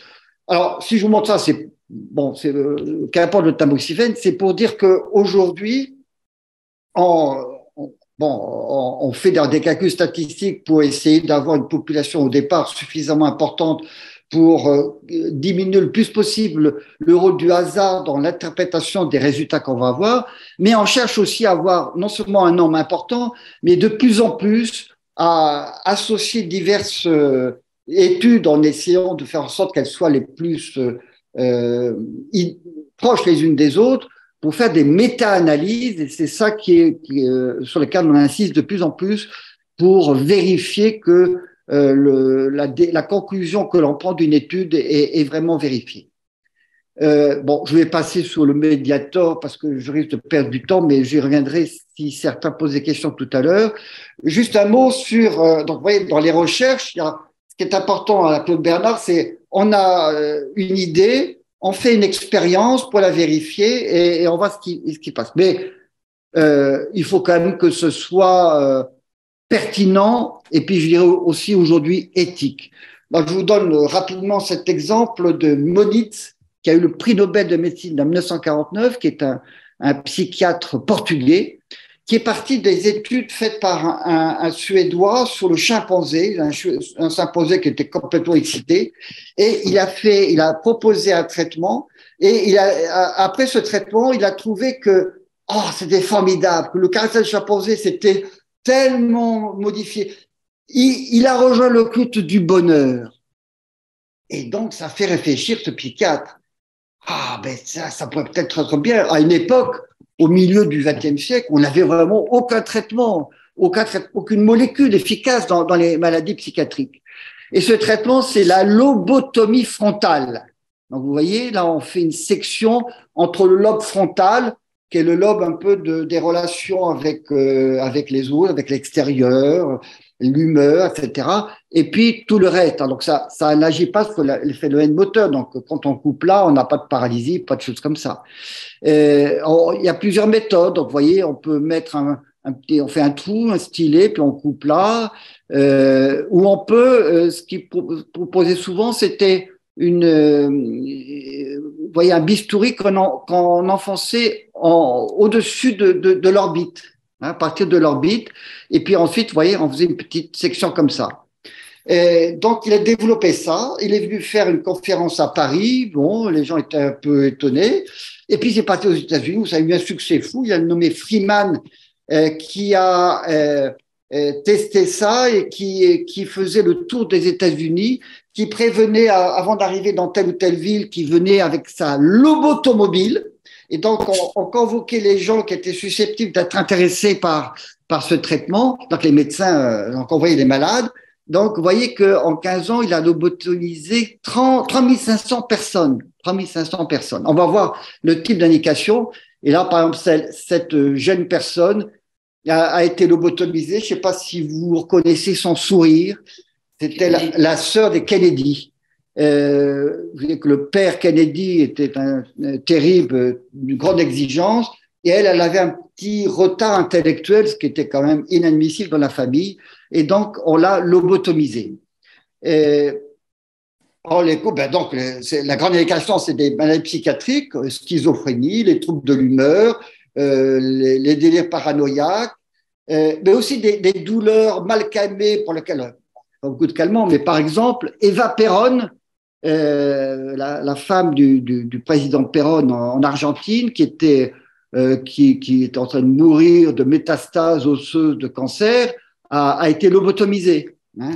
il y a les, les, pathologies hémorragiques digestives considérées comme psychosomatiques. Bon, euh, il y a l'homosexualité hein, que, que Monis considérait comme euh, une maladie mentale, une perversion traitée comme n'importe quelle autre. Euh, donc voilà. Et alors il y a quelques psychiatres français qui ont commencé quand même à, à dire que c'est pas possible. les bases scientifiques sont pas solides. Les essais chez l'être humain prennent plutôt la, la, forme d'une expérimentation dangereuse que d'une vraie thérapeutique et font penser à ce qu'ont subi les maladies pendant la guerre, ça on est bien d'accord. Voilà. Et donc, euh, mais enfin, avec ça a duré quand même euh, près d'une vingtaine d'années, près d'une vingtaine d'années. Et donc euh, voilà, et j'en arrive à, ce point-là, c'est que vous qu'il y a d'une part sur le plan de de l'éthique, de la pertinence, euh, et puis même euh, de, de, de, la preuve scientifique, même quand on a des raisons objectives à la Claude Bernard de penser qu'un traitement est utile, il faut des preuves. Et donc on en arrive à ce raisonnement fondé sur les preuves. Alors je vais euh, un peu symboliser de cette façon le... Encore, je m'excuse, je, fais partir les... Bon. Euh, Imaginons euh, le traitement de quelqu'un qui a une hypertension artérielle. Pardon, il y a une hypertension artérielle, eh bien, je donne un hypotenseur. Et puis, je revois le malade, par exemple, 15 jours après, et je note que la tension a baissé. Ça montre que j'ai un bon traitement pour l'hypertension, n'est-ce pas? Oui, mais, mais, premièrement, ça peut être effectivement l'effet pharmacologique du, du médicament. Mais ça peut être l'évolution spontanée de la maladie, parce que l'hypertension, ce n'est pas quelque chose qui est absolument constant. Il peut y avoir des sautes, etc. Il peut y avoir des causes euh, inhabituelles qui ont poussé l'hypertension. Ça peut se diminuer déjà tout seul. On pourrait donner d'autres exemples. Euh, la grippe. Hein. La grippe, euh, bah, il y a des gens qui ont la fièvre pendant 4 jours, puis d'autres pendant 24 heures euh, eh bien, si au bout de 24 heures, moi je prends, je me décide à prendre un comprimé d'aspirine ou du doliprane et que le lendemain matin j'ai plus de fièvre, je vais dire ah mon médicament est formidable, et peut-être que c'est la fièvre qui est tombée toute seule. Hein, je pourrais dire la même chose avec Covid, hydroxychloroquine. Hein, je prends ça, j'ai plus, j'ai plus de, symptômes. Ben, donc ça veut dire que je vais guérir. Donc, euh, vous voyez qu'il y a l'évolution spontanée de la maladie qui peut jouer je passe sur les erreurs de mesure, les erreurs de diagnostic, etc. Est-ce que les euh, mathématiciens euh, euh, connaissent bien la régression vers la moyenne, ce qui peut être utile dans un certain nombre de, de pathologies reposant sur des, des, valeurs biologiques Et puis, il y a l'effet placebo, sur lesquels je vais, je, vais terminer tout à l'heure. je ne sais pas si vous, si vous m'accordez encore une vingtaine de minutes. allons-y, allons-y. Allons-y, c'est passionnant. Je, cet effet il va dépendre de toute une, de toute une série de, de paramètres qu'on va voir. On va en voir quelques-uns. L'aspect du traitement, la personnalité du malade, évidemment. Hein. On voit qu'il y a des malades qui sont optimistes ou d'autres pessimistes, euh, euh, revendicateurs ou d'autres très, très conciliants, etc la relation médecin-malade qui est absolument capitale, et puis toute une série de conditions extérieures. Euh, par exemple, euh, le voisin qui dit Ah, ton médecin t'a donné ça, c'est formidable ce traitement Ou bien Oh là là, oh là là, tu vas avoir mal à la tête, etc. Donc, euh, il y a plein de, de, de conditions qui peuvent modifier euh, l'effet du traitement. Et donc, c'est ça qui nécessite de faire une étude comparative une étude comparative avec euh, un raisonnement statistique. On a vu tout à l'heure l'histoire du tamoxifène. Euh, donc, il faut un raisonnement statistique euh, et un raisonnement statistique avec une, comparant deux groupes, le groupe du, traitement qu'on veut tester, puis un autre. Et puis, bon, mais il faudrait aussi que les groupes soient comparables. Hein. si je traite un médicament sans faire attention que le, que le médicament est, il est éliminé par le rein et qu'il y a des gens qui peuvent avoir une insuffisance rénale, par exemple, eh bien, c'est sûr qu'il va y avoir des, des différences d'un groupe à l'autre. Donc, il faut que, il faut que je tienne compte des antécédents, des autres traitements que prend le malade, des, des euh, peut-être, euh, est-ce qu'il est, euh, euh, sous plan héréditaire, il a des caractères particuliers, est-ce que sa maladie, l'hypertension, c'est pas la même chez tout le monde, ou, le bon, est-ce que sa maladie l'a depuis euh, six mois ou depuis six ans, etc. Alors, on pourrait dire, ben, je pourrais essayer de répartir correctement entre deux groupes mes malades. Mais on se rend compte que c'est impossible parce qu'en plus, il y a peut-être des paramètres génétiques qu'on ne connaît pas, qui sont très importants euh, et qu'on qu'on ne peut pas euh, découvrir à l'avance. Et, donc, c'est pour ça qu'on s'est rendu compte très vite que la seule façon de faire une étude comparative permettant d'obtenir la preuve de l'effet d'un médicament, c'est un tirage au sort, qu'on appelle la randomisation. Et puis, pas n'importe comment. Là, je vous montre un exemple, euh, un exemple qui concerne ma discipline. Euh, moi, j'étais spécialiste du myélome en hématologie. Et voilà, cette, euh, donc, dans, les années 70-80, euh, il y avait un traitement qui associait le M qu'on a vu tout à l'heure après l'hypérite, le melphalan, qui est un, une moutarde à l'azote, si on peut dire. Puis le P, c'est la prénisone, des corticoïdes qui agissent beaucoup sur les pathologies malignes nymphoïdes. Le myélome, c'est une maladie maligne de la moelle développée à partir d'un précurseur de, des lymphocytes, de ceux qui vont être à l'origine de la fabrication des anticorps. Et donc, voilà une étude qui montre euh, ce qu'on a, ce qu'on a toujours eu avec euh, cette première association efficace dans cette maladie où l'espérance moyenne de vie sans traitement est de 7 mois. Eh bien, vous voyez qu'il y avait la moitié des malades qui réagissaient au traitement, mais aucun qui avait une réponse complète. La réponse complète, c'est quand il n'y a plus aucune trace d'activité de, la maladie. Il y a plus, en particulier, il y a une trace qui est très, très facile à trouver, qui est euh, justement, comme c'est les, les, cellules qui fabriquent des anticorps, il y a un anticorps anormal qu'on trouve dans le sang, ce qu'on appelle un pic monoclonal, mais on ne le trouve plus. Alors là, ça veut dire qu'on a bloqué le processus tumoral. Euh, il y a plus d'anémie, etc., etc. Mais donc ça, on n'était pas capable de le trouver. La Mayo Clinique qui est venue euh, faire une présentation célèbre au congrès de Turin, international de Turin en 1987, utilisaient plutôt une association. Vous voyez, le M et le P, ils ajoutaient trois autres médicaments. Donc, les traitements étaient un peu plus espacés, mais eux, ils étaient contents, ils trouvaient que c'était plus efficace. Mais zéro réponse complète. Et vous voyez que l'espérance, la, persistance de la réponse a été vraiment, euh, elle était pas très longue. Et l'espérance moyenne de vie, elle était toujours à ce moment-là de deux ans et demi à peu près. Et puis voilà qu'ils apportaient euh, les résultats de, cette étude qui montre, en plus de leur chimiothérapie, l'utilisation de l'interféron, qui est un une cytokine fabriquée par les cellules euh, de l'immunité, euh, qui, est d'ailleurs l'interféron, c'est ce qui nous donne la fièvre, les frissons, les malaises quand on a la grippe. C'est ça qui donne, c'est pas le virus, c'est la réaction au virus qui est, qui est l'interféron. Ben, vous voyez qu'en ajoutant donc cette cytokine, euh, ce médiateur de l'action immunologique euh, à, leur chimiothérapie, ils obtenaient une bonne réponse, un bon taux de réponse, et puis alors, ça suffoquait tout le monde. Un quart des malades qui étaient en réponse complète. Alors là, tout le monde était suffoqué. Hein. Alors c'était une petite série, hein, 54 malades. Bon, mais quand même, puis vous voyez, puis ça tenait beaucoup plus longtemps. Il y avait encore 60% qui étaient en bonne réponse au bout de deux ans. Et Mayo Clinic, Rochester, c'est tout à fait célèbre. Et donc, ben, ben, il faut ajouter l'interféron. Mais bon, il y a quand même quelque chose qui, qui, qui, euh, qui choquait parce que, voilà, en 1987, ça faisait déjà une dizaine d'années, ou pas loin, qu'on était dans cette médecine fondée sur la preuve. Et la médecine fondée sur la preuve, ben, on veut une comparaison, mais une comparaison, euh, là, c'est pas une étude comparative, ils ont comparé par rapport à ce qu'il y avait avant ce qu'on appelle une comparaison historique.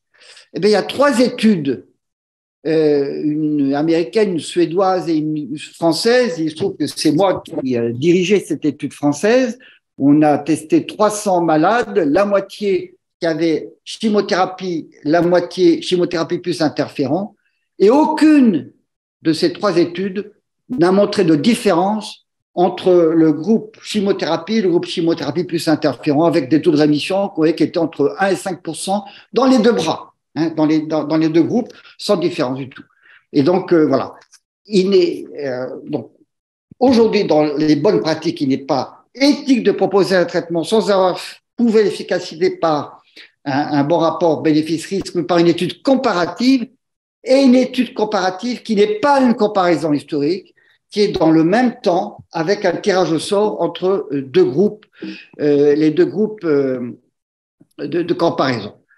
Tout ça après avoir fait une étude animale. Mais l'étude animale est indispensable, mais elle n'est pas suffisante.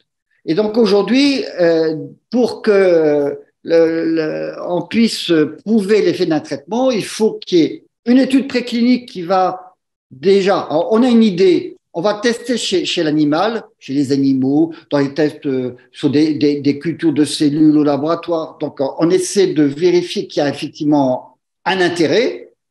Et puis, ensuite, on passe à l'étude chez l'homme.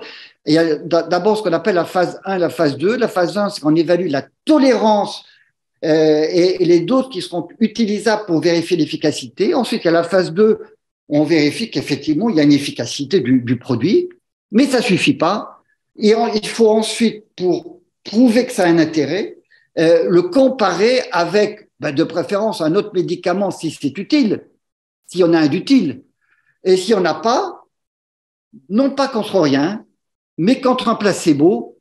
Euh, alors, il y, y a, des nuances, mais je, éventuellement, s'il y a des questions, j'y reviendrai. Mais euh, le placebo va être là, bien sûr, s'il y a euh, une évaluation qui peut être biaisée par euh, l'interprète de l'évaluation. Hein.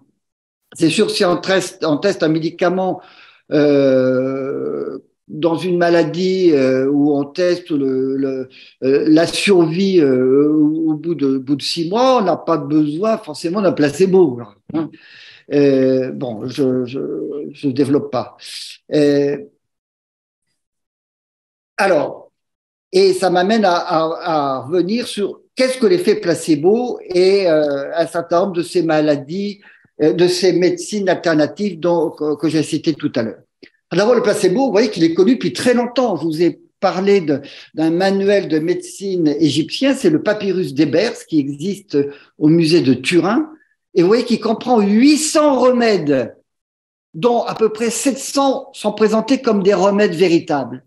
C'est-à-dire que les Égyptiens avaient conscience que de temps en temps, ils prescrivaient un traitement qui n'était pas vraiment un remède, mais qui pouvait faire de l'effet. Donc, ils avaient la conscience de l'effet placebo. C'est 1500 avant Jésus-Christ. C'est avant Ramsès II. Et dedans, il y en a plein. Bon, et dedans, il y a sur, le pavot, etc. Bon, voilà. Et, lisez cet, extrait de Montaigne.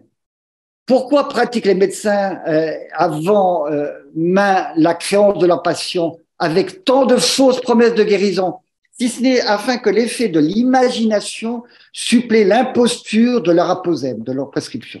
Ils savent qu'un des maîtres de ce métier leur a laissé par écrit qu'il s'est trouvé des hommes à qui la seule vue de la médecine faisait l'opération. Et il donne l'exemple, pardon, euh, un marchand à Toulouse, maladif et sujet à la pierre, hein, la lithiase, rénale, qui avait, lithiase notamment de la vessie, qui avait souvent besoin de clistères, hein, donc de lavement, et se les faisait diversement ordonner au médecin, selon l'occurrence de son mal. Le voilà couché, renversé, toutes les approches faites, sauf qu'il ne s'y faisait aucune injection. L'apothicaire, le pharmacien qui venait retirer après cette cérémonie, le patient accommodé comme s'il avait véritablement pris le clister, il en sentait pareil effet à ceux qui, le, les prennent.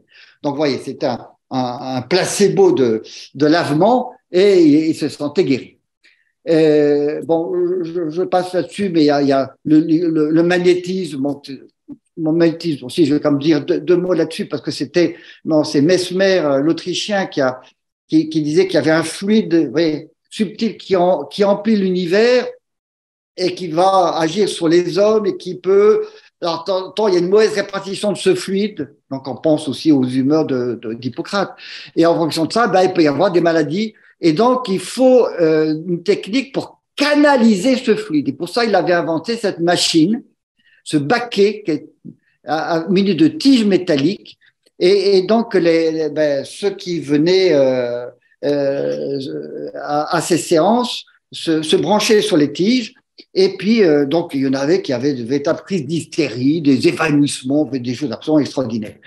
Et donc, ça a tellement troublé dans, les milieux, euh, les milieux un petit peu huppés de, Paris que la cour s'en est mêlée et que le roi, euh, c'était Louis XVI à l'époque, a, comme on ferait aujourd'hui, a convoqué une commission d'études, une évaluation, hein, aujourd'hui ça serait la par exemple, euh, et euh, vous voyez qui a été dirigée par pas n'importe qui, Lavoisier et Benjamin Franklin, et qui ont testé avec un placebo d'arbres magnétisés.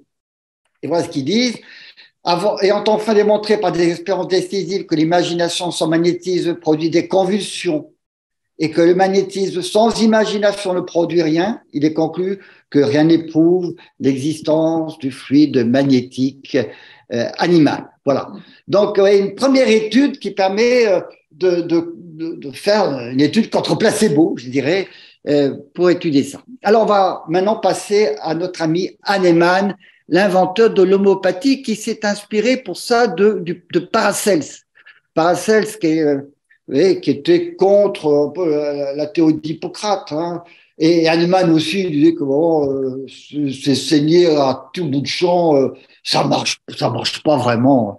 Donc, vous voyez, il était assez négatif, on peut comprendre. Mais comment, qu'est-ce qu'il va trouver comme solution? Paracelse disait la nature invisible d'une chose peut être connue par sa forme extérieure. Par exemple, il y a un exemple célèbre qui est la noix ressemble à un cerveau, un cerveau. Et donc, elle peut servir ainsi de remède pour les maux de tête. Voyez, euh, la logique. encore une fois, beaucoup dans les analogies. Euh, et donc, c'est le principe de similitude qui va frapper Paracelse. Et il va être d'autant plus frappé qu'il va tester euh, chez lui, bon, il va prendre des, des, extraits de quinquina quand il a une crise de palu. Et, et puis, un jour, il va en prendre des, quantités très, très, très, très fortes. Et cette quantité très forte va lui donner une, des palpitations, euh, des maux de tête, euh, une agitation, comme s'il avait le palu. Et donc, ça va lui donner l'idée.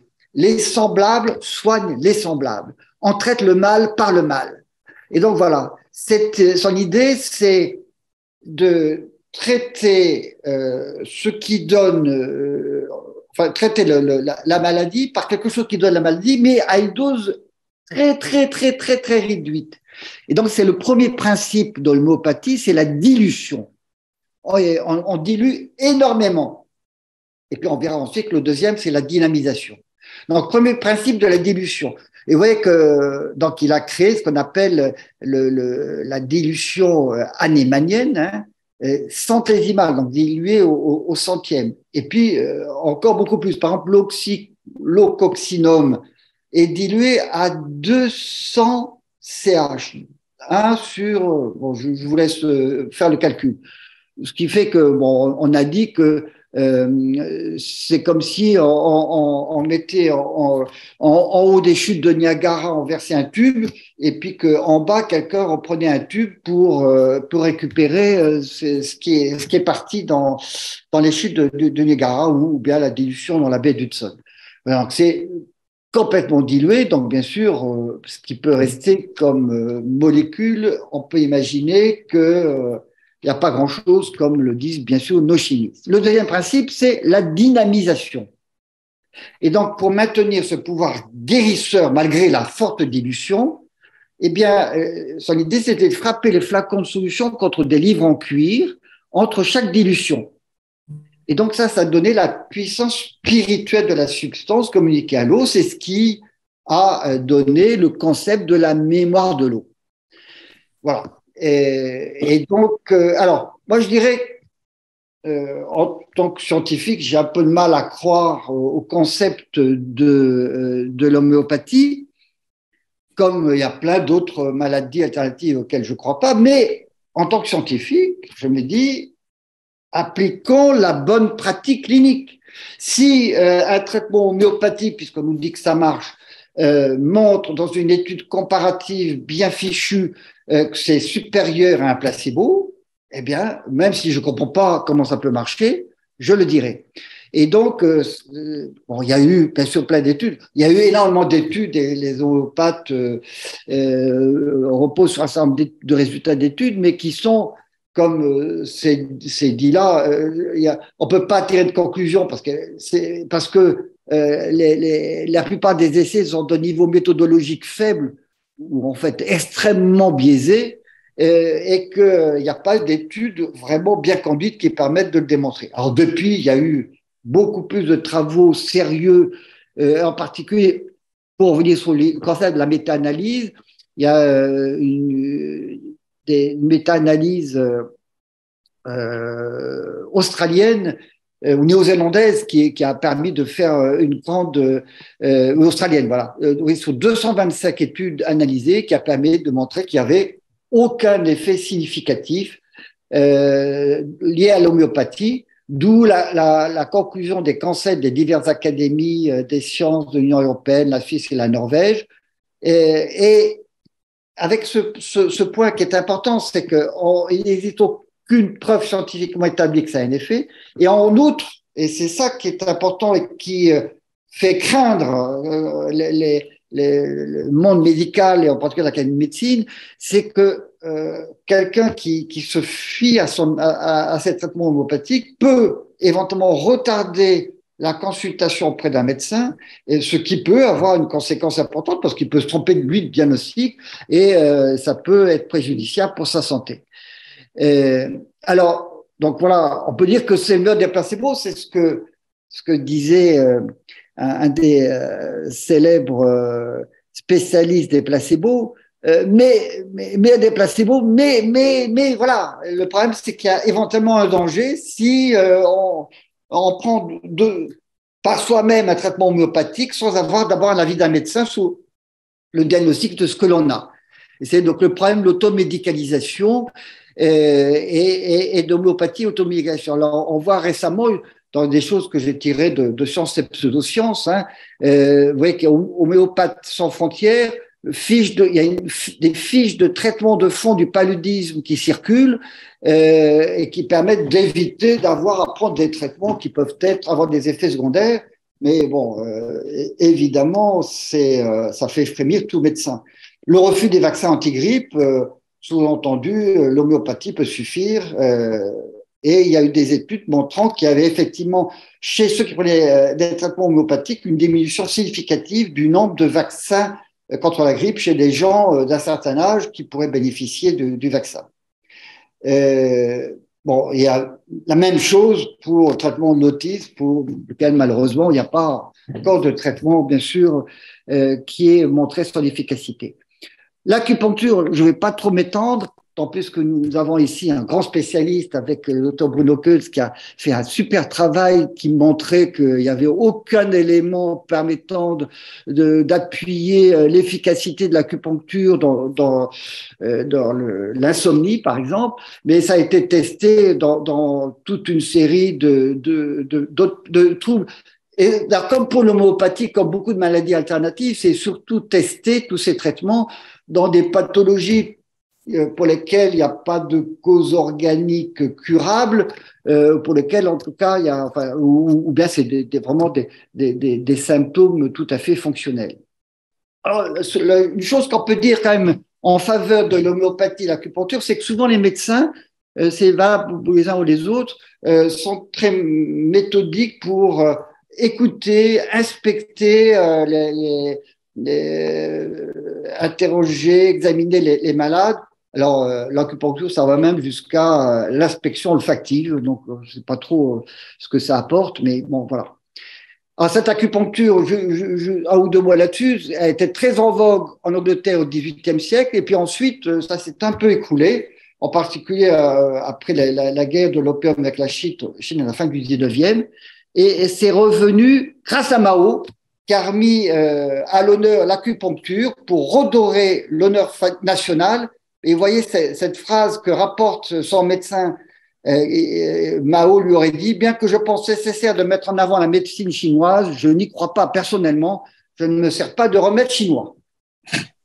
Et voilà. Et cette fameuse, l'acupuncture a eu un effet euh, formidable à partir de la fameuse opération à cœur ouvert de 1972 où on a fait venir des, des chirurgiens américains qui ont été suffoqués de voir qu'une femme était opérée à cœur ouvert sans être euh, anesthésiée, uniquement avec une acupuncture, une acupuncture à l'oreille. Et donc là, ça a été une grande expansion dans le monde entier. Euh, depuis, mais euh, ça fait pas très longtemps, on sait que c'était truqué parce qu'on avait injecté avant un, opiacé qui explique que la, la, femme n'est, effectivement n'est pas eu ces douleurs. Alors, je termine les, les, maladies alternatives par un petit mot sur le thermalisme. le thermalisme, la France est le troisième pays européen par le nombre de stations thermales, 108 stations thermales et établissements thermaux reconnus par le ministère, après l'Allemagne et l'Italie qui sont avant. Euh, il y a euh, le Japon et euh, Israël qui sont assez bien placés aussi. Mais vous voyez que c'est absolument pas reconnu le thermalisme au Royaume-Uni et aux, États-Unis. Alors on peut peut-être dire qu'ils n'y connaissent rien ou qu'ils n'ont pas la chance d'avoir une bonne eau comme nous à Évian, à Vitel, à Vichy, etc. Euh, bon, et alors, est-ce que, vous voyez, le nombre de cures est quand même très, très, très important. Euh, est-ce que c'est, est-ce qu'on a des moyens de prouver l'efficacité? Alors d'abord, il faut voir que, euh, il faut voir que les, euh, c'est Henri IV qui a beaucoup euh, développé, euh, qui, est, un peu l'origine du, grand essor de ce thermalisme. Ça a été ensuite repris par Napoléon III, mais vous voyez, avec une, une, grande importance sur le plan économique. Quand on voit le nombre de stations thermales et le nombre de curistes, au passage, on se dit que si jamais on ne remboursait plus les cures thermales et qu'on disait que, ça ne servait à rien, ça serait une catastrophe économique et je n'envie pas le ministre de la Santé ou le président de la République qui prendrait ce type de décision. Donc, on, imagine les, conséquences importantes. Et puis, d'autre part, euh, c'est extrêmement difficile de faire des études rigoureuses là-dessus. Euh, les comparaisons randomisées, comme on dit, par intelligence sont évidemment pas faciles. Et le faire euh, en aveugle également. Euh, il y a eu beaucoup d'études en rhumatologie surtout, et vous voyez que c'est pas, euh, c'est dans les, pour agir sur les symptômes évidemment. Hein, ça, ne fait pas disparaître la polyarthrite rhumatoïde, mais sur les symptômes douloureux, des lombalgies, l'arthrose, etc. Voilà. Et toutes les études sont d'une qualité euh, très faible euh, sur le plan méthodologique. Alors, euh, pareil pour la dermatologie, etc. Alors, en plus, euh, si, on agit sur les symptômes fonctionnels, euh, bon, le double aveugle n'est pas très facile. Hein. Le double aveugle, de, un verre de Vichy contre un verre d'eau c'est pas très facile de, prouver, de faire en aveugle. Vous voyez, bon, le, le niveau de preuve est généralement toujours très faible, mais la Sécu, il trouve son compte. Il y a régulièrement des études qui montrent que au retour de cure thermale, eh bien, par exemple, chez les rhumatisants, il y a moins de consommation de médicaments. Hein. Et au fond, on n'est pas très étonné parce qu'une cure thermale, euh, ils sont chouchoutés, ils sont dans un endroit un peu de vacances. Il y a, il y a d'autres soins, pardon, d'autres soins qui sont très utiles, enfin qui sont très agréables, hein, les massages, les bains. Euh, il y a euh, des loisirs. Euh, ben, c'est pas pour rien les cures thermales sont celles où il y a des casinos, il y a des champs de course, euh, il y a du spectacle. Et il faut reconnaître que quand on revient de vacances, en général, on est quand même, on se sent beaucoup plus en forme que quand on part en vacances. Hein. Donc, euh, on n'est pas très étonné qu'il y ait une amélioration. Et donc, euh, c'est probablement effectivement un excellent placebo. Alors, euh, l'effet placebo, c'est quoi?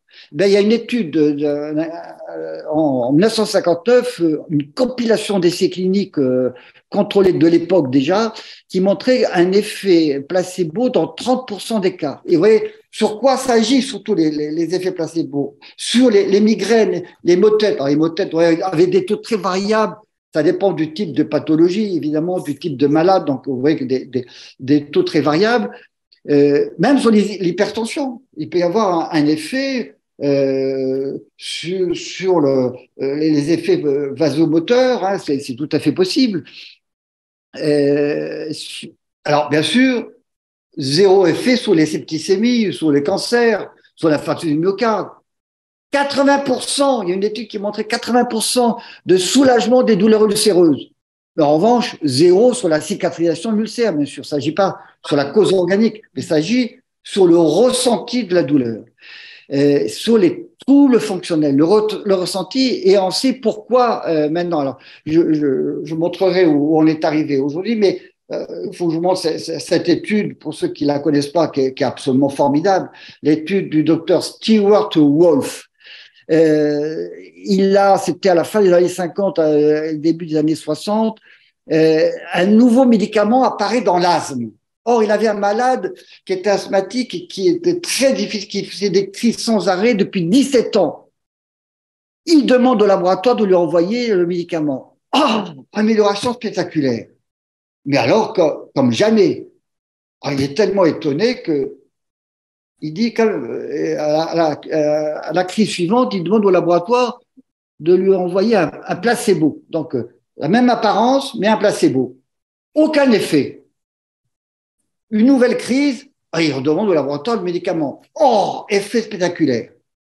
Il est vraiment très, étonné. Il veut quand même vérifier. La, la, crise suivante, il redemande le placebo, aucun effet. Donc, il n'y a pas de doute, ce médicament est formidable. La vérité, c'est que les responsables du laboratoire étaient très étonnés des réactions dithyrambiques qu'ils avaient entendues et à chaque fois, on lui avait envoyé le placebo. C'est-à-dire que lorsque lui pensait qu'il donnait le traitement, il y avait un effet chez le malade. Quand il ne croyait pas, il n'y avait aucun effet chez le malade. Ce qui montre à quel point le, ressenti du, médecin, la façon dont il, communique avec son malade, pourrait être ressenti. C'est ça qui vous explique qu'on euh, impose aujourd'hui, ah, ce n'est pas dans 100% des cas, mais, dans, beaucoup d'études en tout cas où il peut y avoir des symptômes où intervient vraiment le psychisme, un, double aveugle, et du médecin et du malade. je vais donner cette, euh, explication aussi pour la présentation du placebo. Et une étude qui a été faite à l'Université de Bordeaux, où euh, on a essayé chez des étudiants, on a proposé, en fait, ces études à des étudiants qui, avant le, la préparation de leurs examens, en disant voilà, on va vous donner euh, un, médicament pour euh, euh, bon qui peut être un stimulant, peut-être qui peut vous détendre, voilà. Eh bien, donc il y avait deux, deux colorations de médicaments, un rose rouge, un bleu. Il y avait de façon tout à fait significative ceux qui étaient dans le groupe du, du lactose, hein, lactose c'est du sucre, coloré en rose rouge avaient tendance à l'énervement, à l'irritabilité, ceux qui étaient en bleu avaient une tendance à la fatigue, à la somnolence, mais on ne leur avait pas dit que c'était un placebo. À chaque fois, c'était un placebo, c'était du lactose.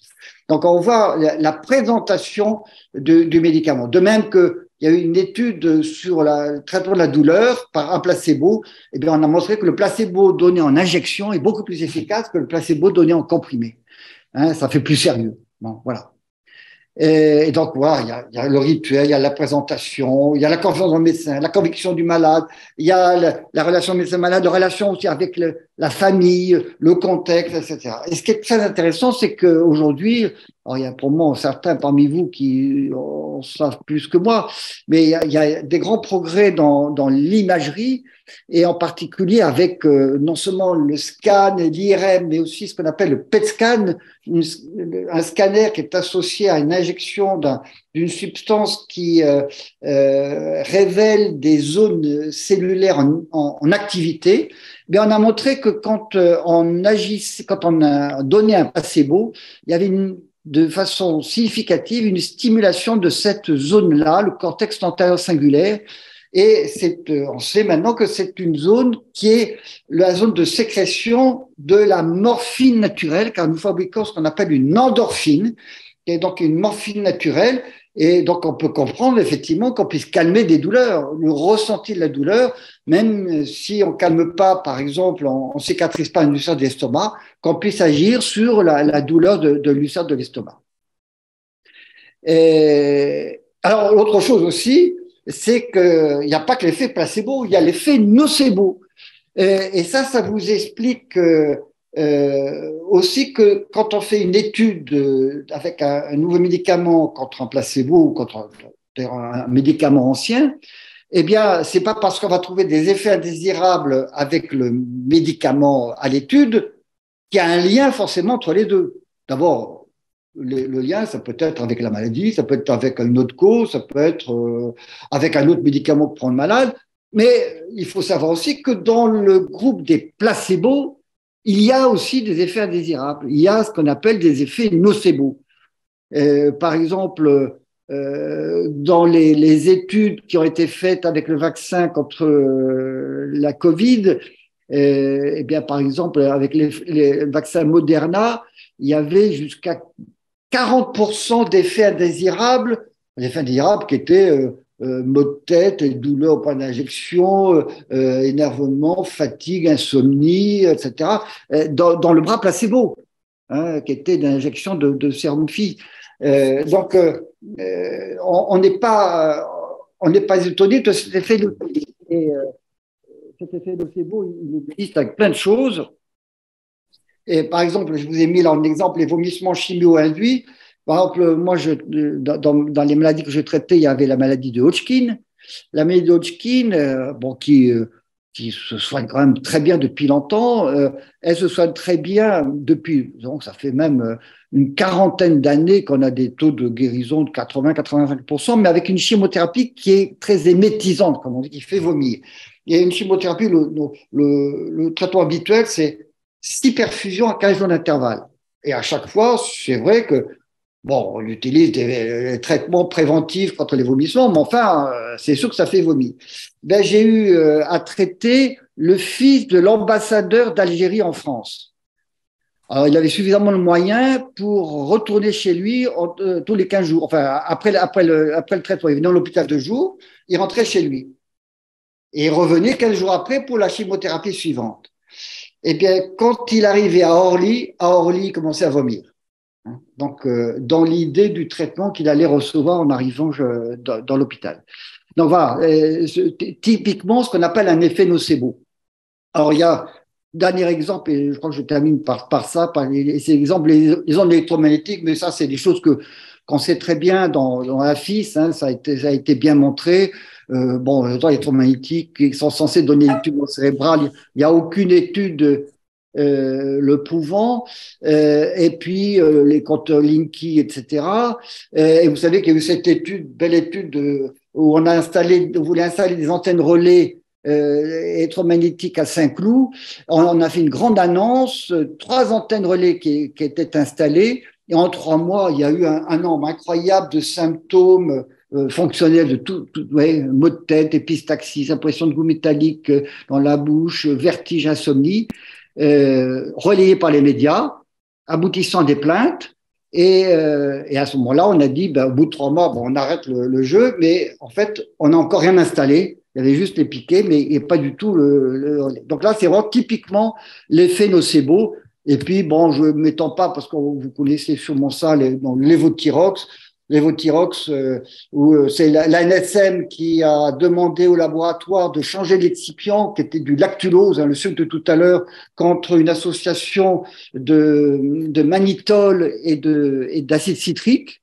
Et euh, eh bien, on a, il y a eu un nombre incroyable pardon, un nombre incroyable de, d'effets indésirables qui, qui ont été notifiés. En plus, il y a une, une actrice célèbre qui a, qui a relayé ça dans, dans les médias. Euh, et euh, en fait, on avait prouvé qu'il y avait une bioéquivalence complète. Éventuellement, on aurait pu se demander s'il n'y avait pas une variation des, des, des taux d'hormones dans le sang chez ces malades-là, mais au contraire, je pense c'était parce qu'il y avait trop de variations avec l'ancienne euh, lactulose que l'ANSM avait demandé le changement. Et en fait, plutôt moins de réduction. Et puis surtout, il y avait les mêmes symptômes que quel que soit le, taux où étaient les hormones thyroïdiennes en excès ou, en, baisse par rapport à, la moyenne. Donc, ça avait vraiment, il n'y avait aucun, aucun effet validé. bien sûr, il n'y a qu'en France qu'on a noté ça. Je ne développe pas plus. Euh, et pour terminer, pour deux ou trois dernières plaques, mais une petite réflexion pour nous tous. Euh, voyez la, courbe d'évolution des cancers en France entre 1980 et aujourd'hui. Euh, euh, on voit que ça ne cesse de monter, et chez l'homme et chez la femme. Et vous voyez que parallèlement, la mortalité ne cesse de baisser. Et ce qui est euh, un des témoins, encore en 2010, mais ça continue de baisser encore, un témoin des progrès euh, considérables qu'il y a en thérapeutique et en, en, particulier en traitement des cancers. J'aurais tendance à dire, pour ma discipline, notamment en hématologie, où il y a vraiment un nombre de progrès considérables, et je vais vous le montrer là. Par exemple, leucémie euh, aiguë de l'enfant. Euh, là, dans les années 70, quand j'étais interne, il y avait 70% de rémission complète, mais une méthode de survie qui était encore assez basse. On pensait qu'il y avait quelques guérisons. Depuis 1990, 80% de guérison. Les leucémies adultes, zéro guérison dans les années 70-80. C'est, on n'est pas loin de 50% de guérison aujourd'hui. La leucémie chronique, alors c'est formidable. Euh, c'était espérance moyenne de vie 3 ans, aucune guérison. Aujourd'hui, je dirais que je presque heureux, j'étais presque heureux de faire un diagnostic parce que je, sais que j'allais être efficace. Et euh, j'ai des malades qui euh, que j'ai quitté avec un comprimé par jour depuis 20 ans, qui est en pleine forme. Le myélome, deux ans et demi, trois ans de survie. Aujourd'hui, plus de huit ans. Et on commence à espérer guérir ces, euh, ces malades. On a des, vraiment des traitements. là, il y a la succession des types de traitements. La chimiothérapie a genre chimiothérapie dérivée de l'hypérite. Il y a un grand progrès, ça a été l'intensification avec autogreffe de moelle. Donc là, vraiment, on a beaucoup euh, amélioré le, taux de réponse du myélome, mais j'ai appris dans un congrès en novembre que ça allait bientôt être abandonné parce que il y a des traitements spécifiques, des traitements ciblés qui sont très efficaces et, et, et très, très bien tolérés. Et puis les anticorps monoclonaux. Et puis aujourd'hui, on est dans l'immunothérapie vraiment active. Alors là, ça a besoin encore d'un petit peu de, recul, c'est un petit peu compliqué. on, apprend aux lymphocytes du malade à savoir reconnaître les cellules malignes, à les attaquer. Et puis il y a ce, traitement qui a l'air d'être très très efficace. Malheureusement, ils sont aussi très chers tous ces traitements. C'est euh, une molécule qui qui a une double double reconnaissance des lymphocytes qui sont des cellules de l'immunité qui vont qui, qui, qui, qui, sont des cellules actives pour attaquer l'ennemi, et puis un, antigène spécifique du, euh, de, la cellule maligne, et ça a l'air d'être d'une efficacité redoutable. Et euh, j'en arrive avec cette image, je pense qu'il vous rappellera quelque chose, euh, et qui montre les, ce qu'étaient capables de faire nos ancêtres Homo sapiens et euh, n'est-ce pas que, que c'est, magnifique. Et euh, vous voyez, c'est bon, on a l'impression aussi d'une qualité euh, tout à fait la même hein, de, de, ces, de ces images de fresques. Alors, cette image, bah, je vais commencer par celle-là, qui peut-être que certains en connaissent les, les grottes de Lascaux. Ben ça, ça, ça vient de Lascaux, c'est 17 000 avant Jésus-Christ. Et, et celle-là, elle n'est pas la même époque. Elle est de la grotte Chauvet. Elle est de 34 000 ans avant Jésus-Christ. C'est-à-dire qu'il y a autant d'écart entre ces deux fresques qu'entre les fresques de Lascaux et nous. Et pour montrer, euh, dire que Homo sapiens était capable de ça, était capable de, de faire plein de choses. Mais vous voyez, le, temps, euh, le temps infini de cette période qui nous a précédés, euh, jusqu'au moment où nous voyons à peine apparaître les progrès thérapeutiques. Et vous voyez, euh, là, Lascaux, c'est bien, bien, bien, bien avant. et les progrès, l'expérimentation, c'est juste depuis même pas 200 ans. Et la médecine fondée sur la preuve, c'est depuis 40 ans où là, là vraiment, on commence à avoir une, montée exponentielle. Mais dans ma discipline, les progrès sont exponentiels depuis 10 ans. Et même depuis 5 ans, j'ai pris ma retraite il y a 5 ans, eh bien, on m'a expliqué que maintenant, en première ligne dans le myélome et la maladie dont je m'occupais, ben, les traitements qu'on utilisait, je, je ne les connaissais pas.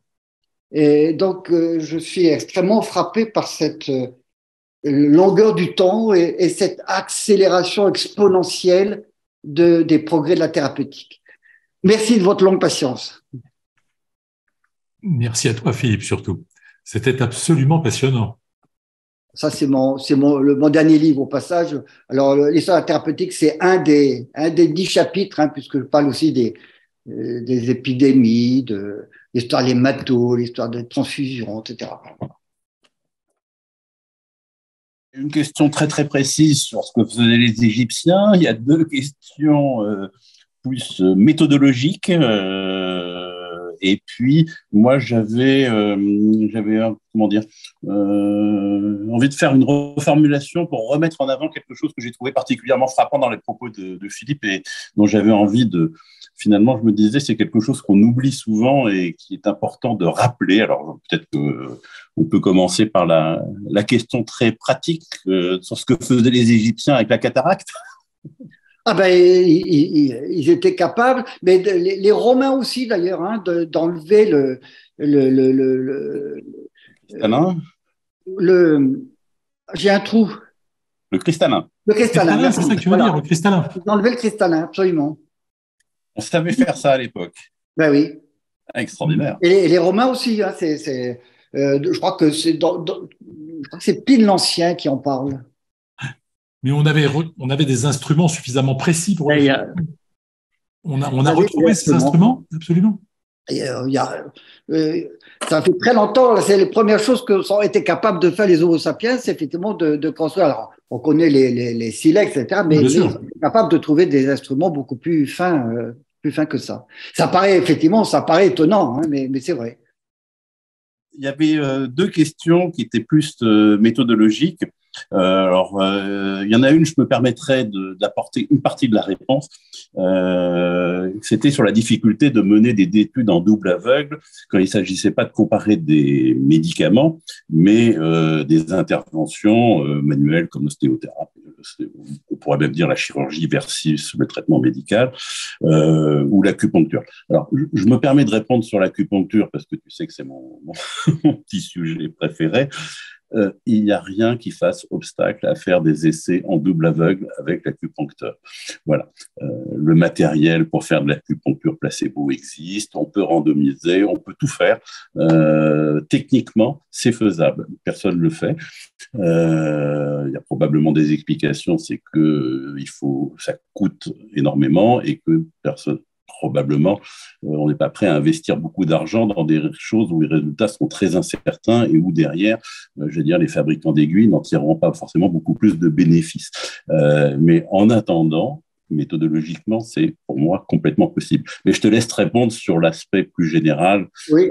Alors, c'est vrai qu'il y a des situations où c'est pas où c'est pas évident. Mais par exemple, pour l'homéopathie, les, les, homéopathes euh, euh, n'aiment pas du tout le, la médecine fondée sur la preuve et, et sont très résistants parce qu'ils disent, mais vous comprenez, nous, on, écoute le malade, on l'interroge et en fonction de son tempérament, etc., on va choisir tel, tel produit homéopathique et, le nombre de gouttes en question. C'est vraiment à la carte.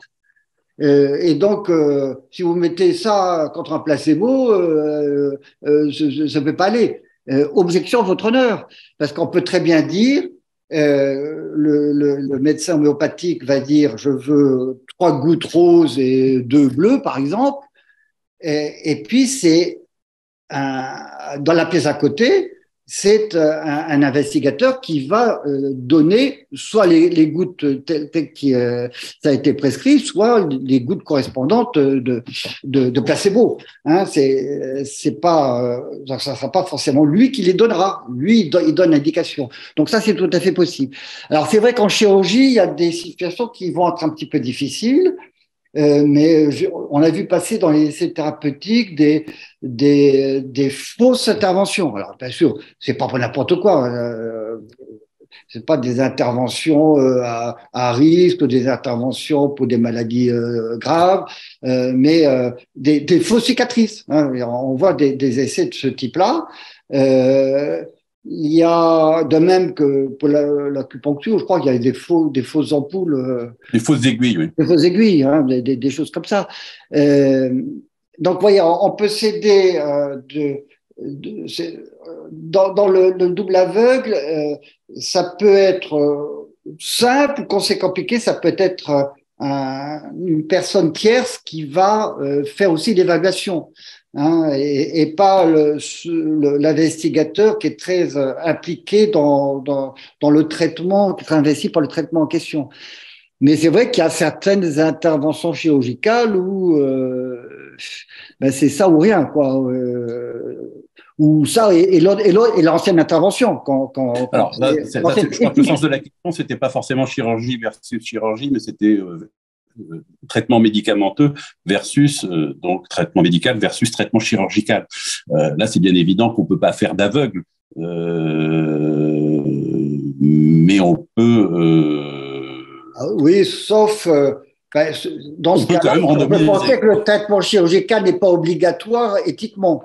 Donc, on peut imaginer qu'il y ait une pseudo-chirurgie. C'est peut-être pas complètement mm. exclu. Ça, ça, ça, existe, qu'il y ait une, une, alors, dire aussi endormir, etc. Mais...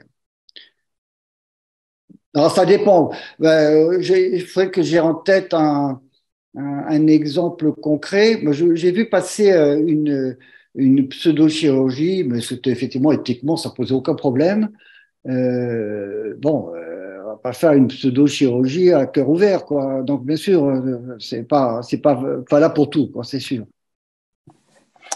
Alors, il y avait une autre question, pense que la réponse, euh, tu vas abonder. C'était une question, euh, enfin une affirmation euh, qui demandait à être validée. Est-ce qu'il n'est pas nécessaire d'annoncer a priori le résultat recherché dans une recherche? Ah, Parce que sinon, finalement, on, recherche. on trouve tout ce qu'on on, trouve ce qu'on veut. Ah non, bien entendu. mais quand, on, quand, quand une étude, quand une recherche est mise en route, il y a une question qui est posée. Et, une question, et non seulement la question est posée, mais euh, on doit aussi indiquer la façon dont on va l'évaluer. Parce que effectivement, euh, si on fait euh, 20 évaluations différentes, on, pourra toujours trouver une évaluation euh, qui va montrer un résultat. On va dire ah vous voyez, hein, euh, bon, je je sais pas si j'ose parler de, de, de, Covid et de Marseille, mais bon, c'est dire que euh, c'est assez bref. C'est si on, on, on, démontre. on, fera, on, fera, si tu veux bien un autre webinaire là-dessus. ça en vaut. 15 secondes. Si on, utilise Un, médicament euh, qui euh, diminue significativement le taux de virus dans le nez et qu'on dit ça guérit la, la maladie Covid, c'est pas il n'y a pas une adaptation de les facteurs d'éléments d'évaluation avec la question posée. C'est-à-dire que si on n'a pas pris comme critère de jugement définitif la guérison, après se rattraper aux branches avec des critères intermédiaires, absolument, euh, on en trouvera forcément un qui va être euh, qui va répondre euh, à la question. Parce qu'en faisant dix comparaisons, on en trouve toujours une qui marche. Bien sûr. Donc, les, questions intermédiaires, d'ailleurs, dans les essais, il y a souvent une, un juge, question de juge, enfin, un critère du jugement principal et puis des, jugements accessoires. Si on a montré positivement que le, critère principal était validé, on peut aller un peu plus loin, dire c'est validé, et en plus, dans tel ou tel domaine, euh, il y a un plus, etc. Donc là, c'est utile, mais à condition que la question principale ait été validée, bien entendu. C'était l'exemple parfait que tu donnais des fibrates, hein, qui ont montré une augmentation très nette de la mortalité globale avec une diminution d'un facteur de risque intermédiaire, hein, bien sûr. C'était l'exemple parfait, celui-là. Alors justement, j'aimerais rebondir sur cet exemple parce que moi, je voudrais le mettre un peu en perspective dans l'évolution parce que moi, j'ai trouvé très intéressant finalement de partir depuis euh, l'Antiquité. Euh, euh, donc, on est parti d'une médecine avec, qui était basée sur des théories, qui étaient des théories idéologiques ou spirituelles. et puis, avec Maud Bernard, on est passé plus sur des théories toujours physiopathologiques. Mais euh, finalement, qu'est-ce qu'on observe aujourd'hui avec toutes les pseudo-médecines, que ce soit les médecines euh, parallèles, médecines alternatives ou tout ce qu'on voudra, euh, c'est que finalement, elles se revendiquent souvent de théories physiopathologiques. Alors parfois de façon complètement farfelue, parfois en les déviant, en les détournant, parfois avec des extrapolations hasardeuses, mais euh, c'est ce qui les rend parfois, difficile parfois de, les attaquer parce que finalement, elles se, elles se partent des atouts euh, de la science. Et euh, je trouve que l'exemple justement du, des fibrates est, est, vraiment exemplaire parce que ça, ça c'est vraiment un exemple pour bien démonter le fait qu'une théorie, ça ne suffit pas, aussi séduisante soit-elle. Et, euh, je trouve c'est ce à quoi on est souvent confronté aujourd'hui avec les pseudosciences. Et je rajouterais pour Philippe, je ne sais pas si tu connais cet exemple parce que c'est un peu spécialisé, euh, récemment en, dans le traitement des apnées du sommeil, dans les apnées centrales, on a arrêté de ventiler les gens euh, qui avaient des insuffisances cardiaques suite à une étude parce qu'on s'est aperçu qu'on augmentait la mortalité alors qu'on contrôlait de façon remarquablement efficace leurs apnées. C'est-à-dire que sur le papier, ils étaient guéris, sauf que les courbes de survie montraient qu'il y avait une surmortalité cardiovasculaire. Donc, on, a arrêté vite fait de, mettre en place ce traitement. Et c'est exactement le même, euh, la même question qu'avec les, fibrates. Frappant, frappant. Mmh. Mmh, tout à fait. Tout à fait, tout à fait. Bien, merci tous les Je ne sais pas si tu partages cette perspective, mais moi, c'est un peu cette inquiétude qu'on a avec les pseudosciences qui veulent se parer un petit peu de, des, des atouts, des, enfin des. Ben, bien sûr, on, on en vient à euh, études comparatives. Euh, et comme l'homéopathie.